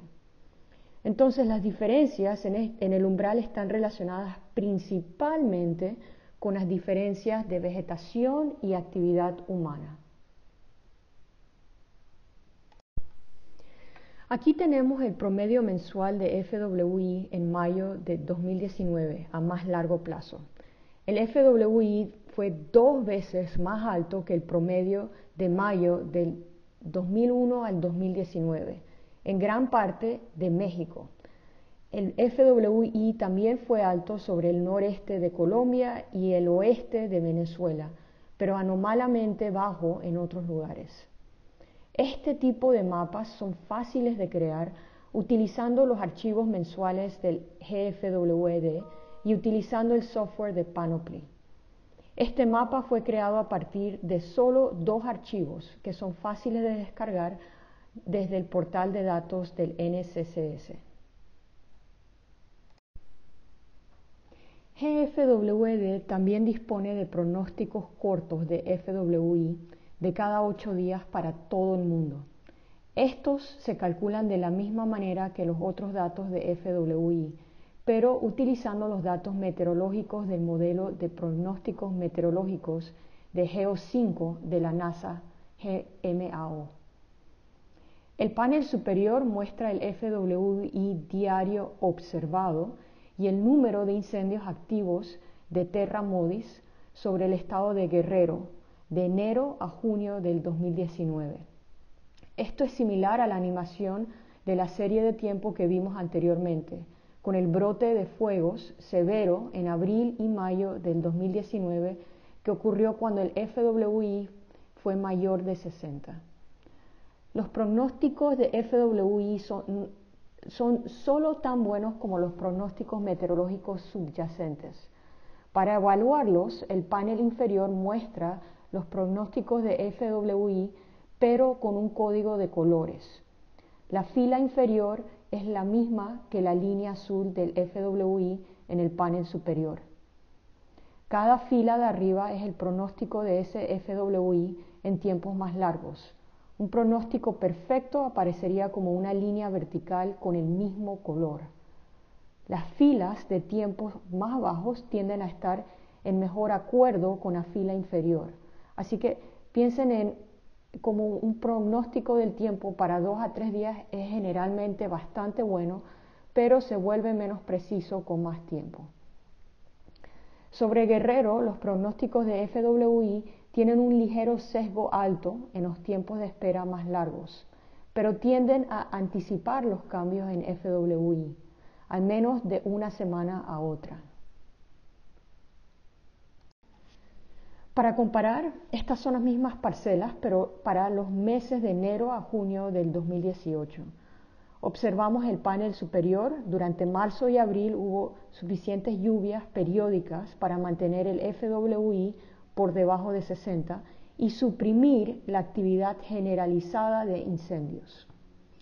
Las fuertes lluvias a principios de mayo resultaron en un final de temporada de incendios tranquila, a diferencia del 2019. Estas diferencias con respecto a 2019 están bien identificadas en el pronóstico. Por ejemplo, el evento de lluvia a mediados de abril y el evento de lluvia de final de temporada a, principios de mayo. No es de extrañar que haya una relación negativa entre la precipitación y la actividad de incendios. A menos lluvia, más incendios. Entonces, si hacemos las estadísticas, la precipitación de Maya explica el 47% de la variación de la actividad de los incendios de Moody's. El gráfico de dispersión de la derecha muestra una relación más estrecha y positiva con el índice meteorológico de incendios. El FWI de mayo explica el 66% de la variación de la actividad de los incendios. El FWI resulta en mejores resultados que la precipitación por sí sola, principalmente debido a su memoria. Entonces, a través de su sistema de contabilidad, el FWI de mayo recuerda, entre comillas, si hizo calor y estuvo seco en marzo y abril y por lo tanto si los combustibles se han secado más. Alrededor de un tercio de la variabilidad de la actividad de los incendios queda sin explicar y esto se debe a otros factores como las diferencias de vegetación, las fuentes de ignición y la capacidad de controlar el fuego. Pero, en comparación con muchas otras regiones, incluyendo los Estados Unidos, el FWI explica una proporción bastante alta de la variabilidad interanual de la actividad de los incendios en Guerrero.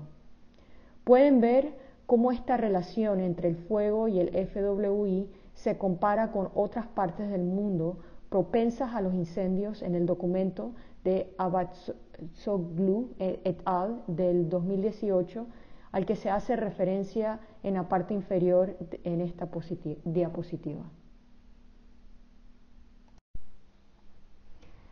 Y aquí tenemos otro ejemplo más reciente, la extrema temporada de incendios del 2020 en el oeste de Estados Unidos, donde se batieron récords en California, Oregón y Colorado.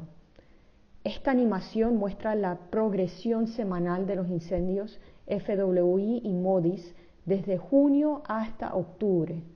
Las categorías ad hoc de FWI son también del Sistema Global de Información sobre Incendios Forestales.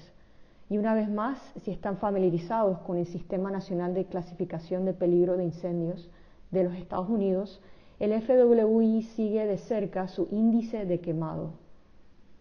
Al igual que en México, la actividad de los incendios es baja cuando el FWI es inferior a 20 y los grados de incendio varían a medida que el FWI aumenta. Las zonas en blanco muestran los lugares en que los cálculos del FWI se han detenido, ya sea por la nieve o por las bajas temperaturas. Se pondrán en marcha en la próxima temporada de incendios con un ajuste en función de si ha sido un invierno seco o nevado. La serie temporal de la derecha muestra el FWI y el conteo de incendios activos de Terra Modis sobre el oeste de Oregón en el recuadro azul del mapa. El FWI aumentó constantemente durante junio y julio, manteniéndose constantemente por encima de 30 hasta agosto. En la segunda semana de septiembre se produjo un fuerte aumento en los conteos de incendios, en el número de incendios, y esto corresponde con algunos de los mayores incendios de Oregón de los últimos 30 años. Así que, por ejemplo, los incendios de Beachy Creek y Lions Head se unieron para quemar una superficie combinada de 398 mil acres. El fuerte aumento en FWI se debió a la acumulación de condiciones de sequedad durante el verano y a un evento de, de, unos vientos fuertes el 8 de septiembre que impulsó la propagación de estos grandes incendios. Aquí vemos los pronósticos del FWI para 2019 en todo el noroeste del Pacífico estadounidense, o sea, los estados de Oregón y Washington, según la definición del Centro Nacional Interagencial de Incendios de Estados Unidos. El panel superior muestra el FWI y el número de incendios activos de Terra Modis para todo el año. El FWI se mantuvo por debajo de 30 durante la mayor parte del verano. Hubo algunos incendios a finales de julio y a principios de agosto, pero en general fue un año tranquilo en cuanto a incendios. Y esto se debió a las importantes lluvias de principios de mayo y mediados de agosto. En la parte inferior vemos que las precipitaciones de mayo estaban bien previstas una semana antes, mientras que las de agosto, las de agosto lo estaban unos cinco días antes. Esto muestra los mismos datos sobre el noroeste del Pacífico, pero para el 2020. El panel superior muestra el aumento de FWI durante julio y agosto y el extenso brote de incendios a principios de septiembre en Oregón, correspondiente a las condiciones de sequedad y vientos fuertes. Los pronósticos del FWI se ajustaron a estas condiciones unos cinco días antes y a las condiciones generales de alto peligro de incendio una semana antes, junto con los eventos de lluvia más tarde en el mes y en octubre que finalizaron la temporada de incendios. Estos ejemplos muestran cómo los diferentes elementos meteorológicos, sequedad y vientos, se combinan para impulsar los incendios forestales, cómo son identificados por el sistema FWI y las diferencias en la forma de predecir la parte meteorológica del peligro de incendio. Entonces, algunos de los puntos más importantes de esta sección son los siguientes. Primero, los umbrales de índice meteorológico de incendios serán diferentes en distintas partes del mundo. Dependen de factores locales como la vegetación y la actividad humana. Segundo, del mismo modo, el clima de incendios puede explicar gran parte de la variación de la actividad de los incendios, pero la vegetación y la actividad humana también desempeñan un papel clave. Y por último, la base de datos mundial sobre el clima de los incendios está a disposición del público y puede utilizarse como un punto de partida para comprender el papel del clima en los entornos locales de los incendios. Entonces, si quieren más información, aquí eh, hay una lista de diferentes recursos que tal vez les pueda ser útil y las siguientes dos diapositivas contienen referencias a publicaciones que pueden ser de interés si quieren profundizar un poco más en el tema.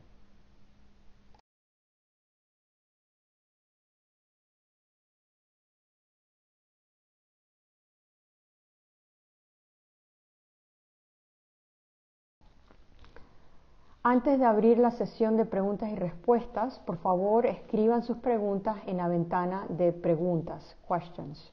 Las responderemos en el orden en que las recibimos.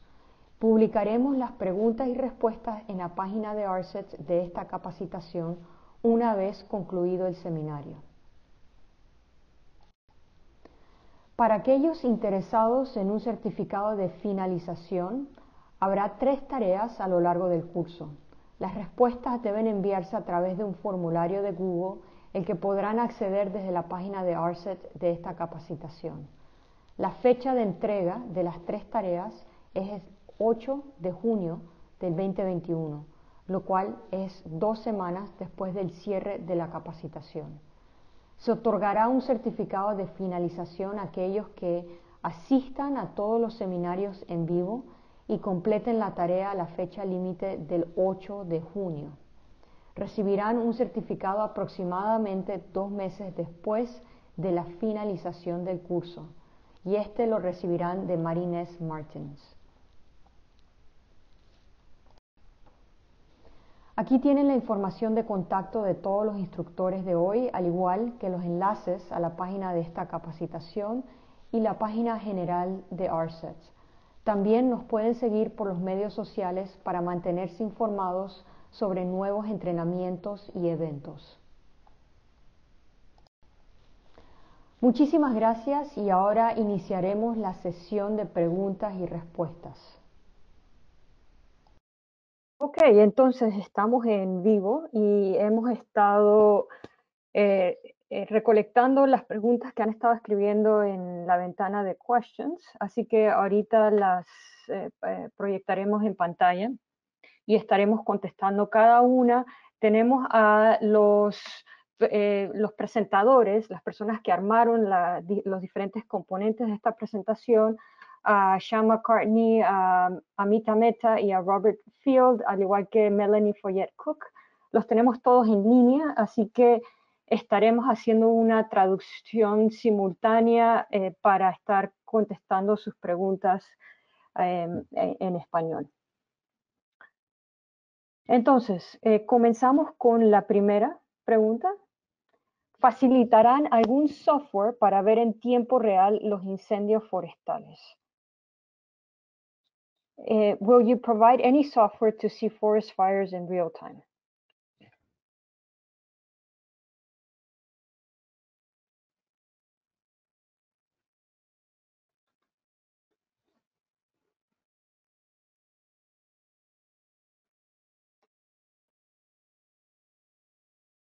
Okay, would anyone uh, like to answer that?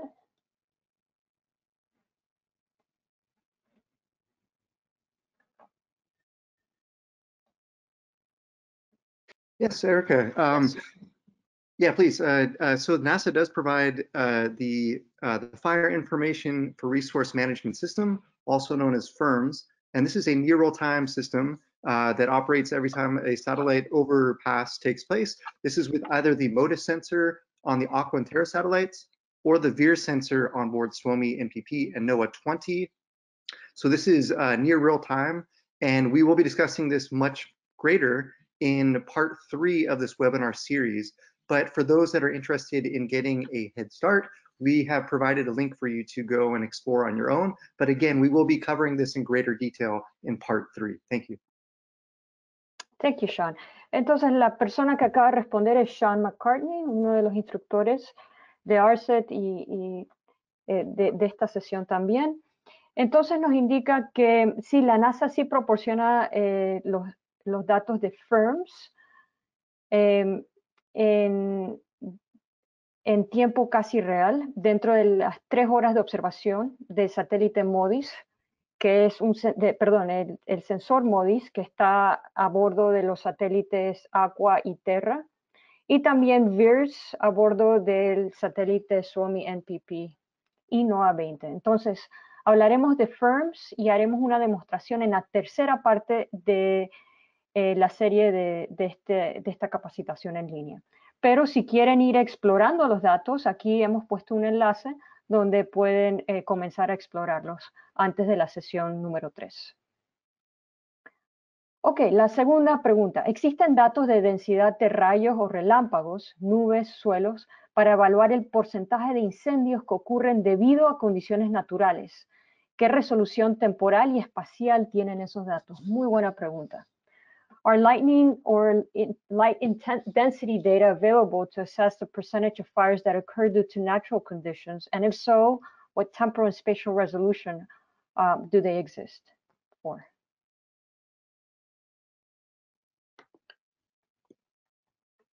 So uh, for lightning, there is a lightning sensor on International Space Station. And um, Sean, if you have more information, you can provide for that. Um, there's also NOAA uh, lightning information. Uh, I don't think it related to fire they are available. You have to just look at the data and see um, if they correlate with fire incidences or events.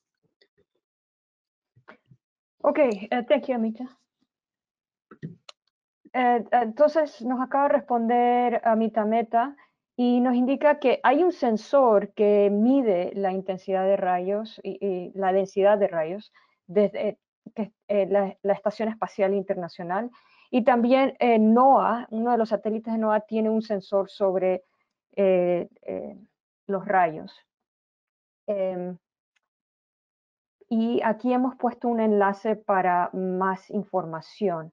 Ahora, tengo entendido que estos datos de, densidad de rayos eh, no, tienen una geolocalización muy precisa, así que tal vez estén indicando eh, rayos a un par de kilómetros de distancia donde eh, realmente cayeron. Pero deben de explorar los datos más, más a fondo, más profundamente. Pregunta 3. ¿Qué estudios han descartado los rayos como una de las variables meteorológicas que no influencian los incendios? Question number three, what studies have ruled out lightning as one of the meteorological variables that do not influence fires?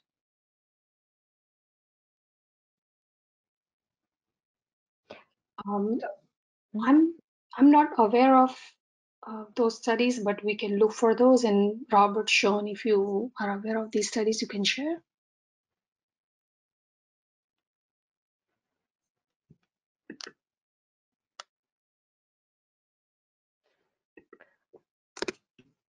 Ok, entonces nos indica a Amita Meta que ella no conoce de ni un estudio, pero eh, yo sí voy a añadir que sé que han habido estudios y, que han eh, indicado una potencial fuerte correlación entre rayos e incendios, especialmente en, el trópico. em, se piensa que un gran porcentaje de la mortalidad de los eh, árboles en el- en el trópico son a causa de rayos.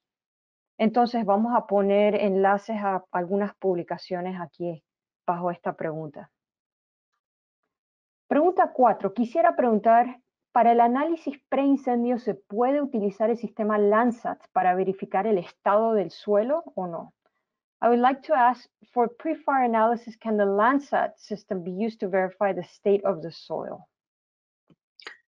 Um, so Landsat can provide information about vegetation, so NDVI and vegetation health. We will see more about this in next session, but not about the state of the soil from Landsat. Um, one cannot see that. You can see whether it's it's barren land or it's vegetated, but no other characteristics can be seen from Landsat.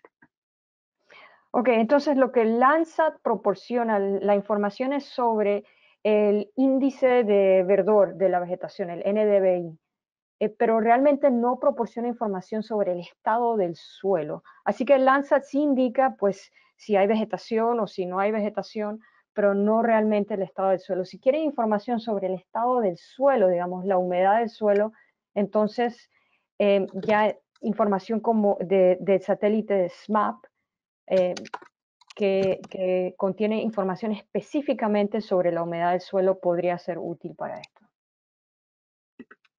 Pregunta 5. Todos estos...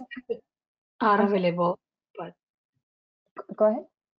yeah, land surface temperatures can be found from Landsat. Ah, sí, entonces añade a Mita Meta que las temperaturas de la superficie eh, sí están disponibles eh, de Landsat. Ahora, eso es lo que le llaman en inglés skin temperatures, no, no es realmente necesariamente la temperatura del suelo, es simplemente la temperatura, es una combinación del, probablemente la temperatura em, en, en la, superficie de- del, del dosel, de la vegetación. Si hay vegetación. Pregunta 5. ¿Todos estos modelos se pueden acceder desde Google Earth Engine? All these models can be accessed from Google Earth Engine? Question number 5. Uh, yes, so iMerge version 6 and GLDAS 2.1 that we used in, in this study, they are available from GEE. Um, I don't believe MERA 2 data are available. And also, um, it's good to check these NASA sites because the latest versions are available from those sites first and then. GEE. Ok, entonces nos indica Mita Meta que los datos de iMerge, la versión 6, y los de GLDAS 2.1 sí están en Google Earth Engine. Eh, los datos de MERA 2 no están disponibles en Google Earth Engine, pero sí añade que es importante que revisen los centros de archivo de la NASA, ya que eh, eh, eh, usualmente los últimos datos eh, los pueden encontrar primero en los centros de archivo antes de encontrarlos en Google Earth Engine. Pregunta número 6. Quisiera conocer si se puede obtener información de los polígonos de las áreas quemadas, así como un reporte para, por cada incendio forestal en Estados Unidos. I would like to know if it's possible to obtain information of the polygons of the burned areas as well as a report for each forest fire in the United States. Yes, it is uh, absolutely possible to obtain polygons of the burned areas. Uh, this is available as a product derived from both the MODIS and VIRS instruments. Uh, this will be covered in terms of uh, data visualization and data access of these polygons in future parts of the webinar series. Uh, so definitely for those that are interested, do stay tuned. This will be covered uh, in the future. And then for reports on, on individual forest fires across the United States, uh, we would ask that uh, the user to look to the United States Forest Service for reports on said forest fires. Ok, thank you, Sean. Nos indica Sean McCartney que sí es posible obtener datos sobre los polígonos de las zonas quemadas a partir de los instrumentos de MODIS y de VIRS. Y este, este tema lo trataremos en, en, otras partes de este seminario en línea, en otras sesiones. Eh, y para obtener información sobre cada incendio forestal en los Estados Unidos, eh, eh, los reportes sobre incendios individuales, entonces pueden consultar el Servicio Forestal de los Estados Unidos. Ellos tienen reportes de incendios individuales. Ok, entonces, seguimos a la siguiente pregunta, la número 7. ¿Cuáles son los valores de normalidad de temperatura, precipitación y humedad? ¿Se calculan o promedian de años anteriores? Okay, what are the normal values of temperature, precipitation, and humidity, and are they calculated or averaged from previous years? Uh, yes, so the maps and time series shown here for temperature, precipitation, and soil moisture, they are average uh, of 2000 to uh, 2001 to 2020 uh, data. Uh, we used monthly data and then did averages for all these years. And uh, so that that the values you see are typical values for California and Zambia that we showed. Um, that they are considered they're long-term means, so they're more or less normal values. Ok, nos indica Mita Meta que el, los valores promedios de tanto temperatura, precipitación y humedad del suelo fueron calculados para el periodo de 2001 al 2020. Entonces, son valores mensuales que fueron promediados a, anual, a valores anual. Esto es lo que enseñamos en esta presentación. Y estos entonces son considerados valores eh, históricos promedios. O sea, los valores normales eh, históricos. Pregunta 8. ¿Los datos de precipitaciones están por regiones o por país? Question number 8. Are the rainfall data by region or by country? So uh, HIMERGE data that we use, they are global gridded data at 1 10th degree latitude longitude resolution. Uh, but if you use Giovanni, you can extract or subset these data by country for countries or United you know, US states, or there are a number of river basins uh, that are listed in there uh, that you can pick from there. Ok, entonces el, los datos de precipitación de, que utilizamos aquí de, fueron de iMerge, son globales y eh, a una resolución de un décimo de grado y, eh, y, y, ya están cuadriculados. Pero pueden, uno los puede extraer para cualquier país, cualquier estado de los Estados Unidos o cualquier, o, muchas de las cuencas eh, más grandes eh, del mundo también eh, están ahí, o sea, como shapefiles que uno puede extraer esa información de Giovanni. Pregunta 9. Basados en su experiencia, ¿dónde podemos consultar y o descargar un histórico y pronóstico más fiable para analizar y pronosticar el fenómeno del niño? Based on your experience, where can we consult or download a more re reliable historical and forecast data to analyze and forecast the El Nino phenomenon? So NOAA provides um, operational uh, monitoring and forecast, seasonal forecast for uh, ENSO. So that site, uh, this Climate Prediction Center's uh, link is provided here. And uh, JPL has a science portal for ENSO as well for more information. Ok, entonces, eh, aquí hay un portal eh, un, un, enlace a un portal de NOAA que eh, contiene información sobre eventos históricos del niño y pronósticos también. La pregunta número 10. Para calcular el FWI se necesitan valores de velocidad del viento, entre otros datos. Si me interesa calcular este índice con la mejor resolución espacial disponible, ¿qué fuentes de datos me recomiendan? So to calculate FWI, do you need wind speed? And I'm interested in calculating this index, but what is the best spatial resolution available? What sources of data do you recommend? Um, a good starting point for, for doing your own FWI calculations is to use hourly weather data from surface weather stations. And on slide 95, there are links to technical documents with the FWI equations, code in different programming languages, um, and a link to hourly weather data from NOAA for weather stations around the world. Uh, and then you can also use locally available weather data from national meteorological or other agencies. Ok, muchas gracias. Eh, la persona que respondió fue Robert Field. Eh, él eh, armó la, última parte de esta presentación y nos indica que un buen punto de partida eh, para calcular FWE son los datos meteorológicos eh, de cada hora, de cada hora de las estaciones meteorológicas de superficie.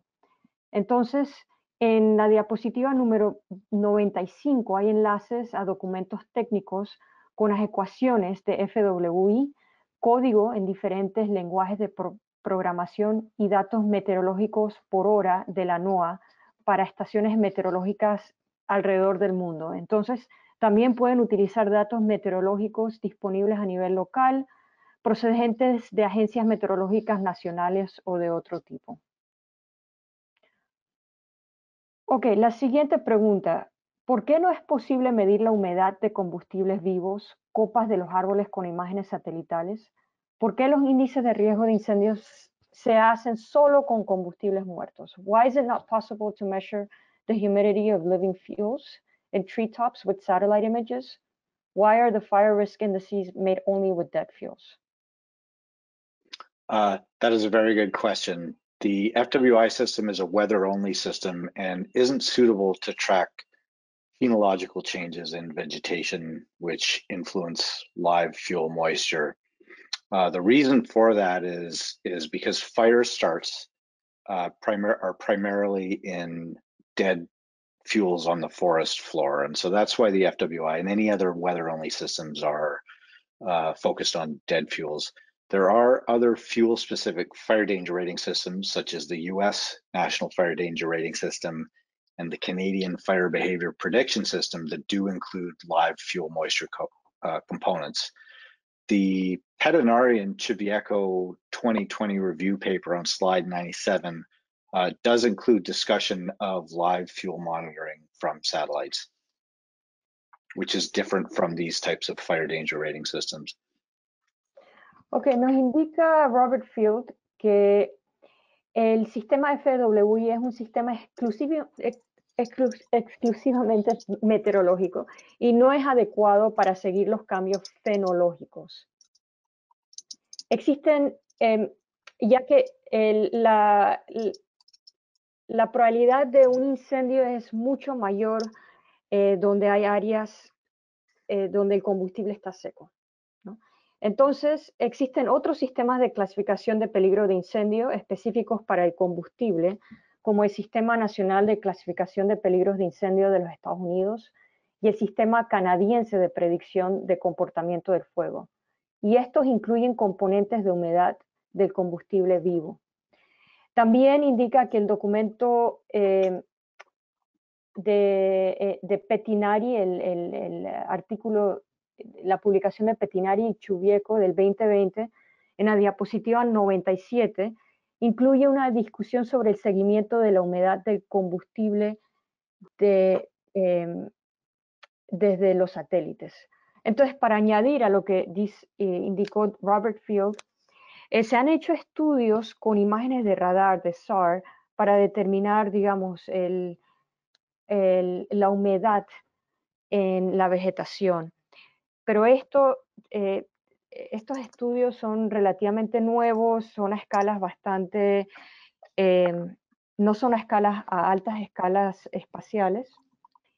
Y, em, y, bueno, todavía son productos que están en desarrollo. Entonces, seguimos a la siguiente pregunta, la número 12. Y esta será la última pregunta. Estamos, nos hemos pasado ya un par, de 10 minutos.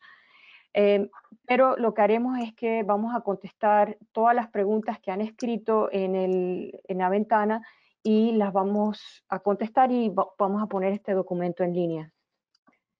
La última pregunta. ¿Son plataformas software gratuitos para realizar los mapeos? Uh, are they free platform software to carry out the mappings? Question number uh, Yes, uh, uh, whoever asked that question, and this is for everybody, uh, all the, the, the platforms, the tools, data sets, software, etc., uh, everything that will be presented throughout this entire six-part webinar series are all freely available and open source. So uh, yes, so hopefully that answers their question. Excellent, thank you very much. Nos indica Sean McCartney que todos los las herramientas, los datos y los el software que eh, presentamos en esta capacitación en línea, en todas las sesiones de esta capacitación en línea, eh, son eh, softwares sin costo y abierto al, al, público. ¿Ok? Entonces, con eso concluimos esta sesión, esta primera sesión. Acuérdense, son seis partes. La próxima será el, este jueves.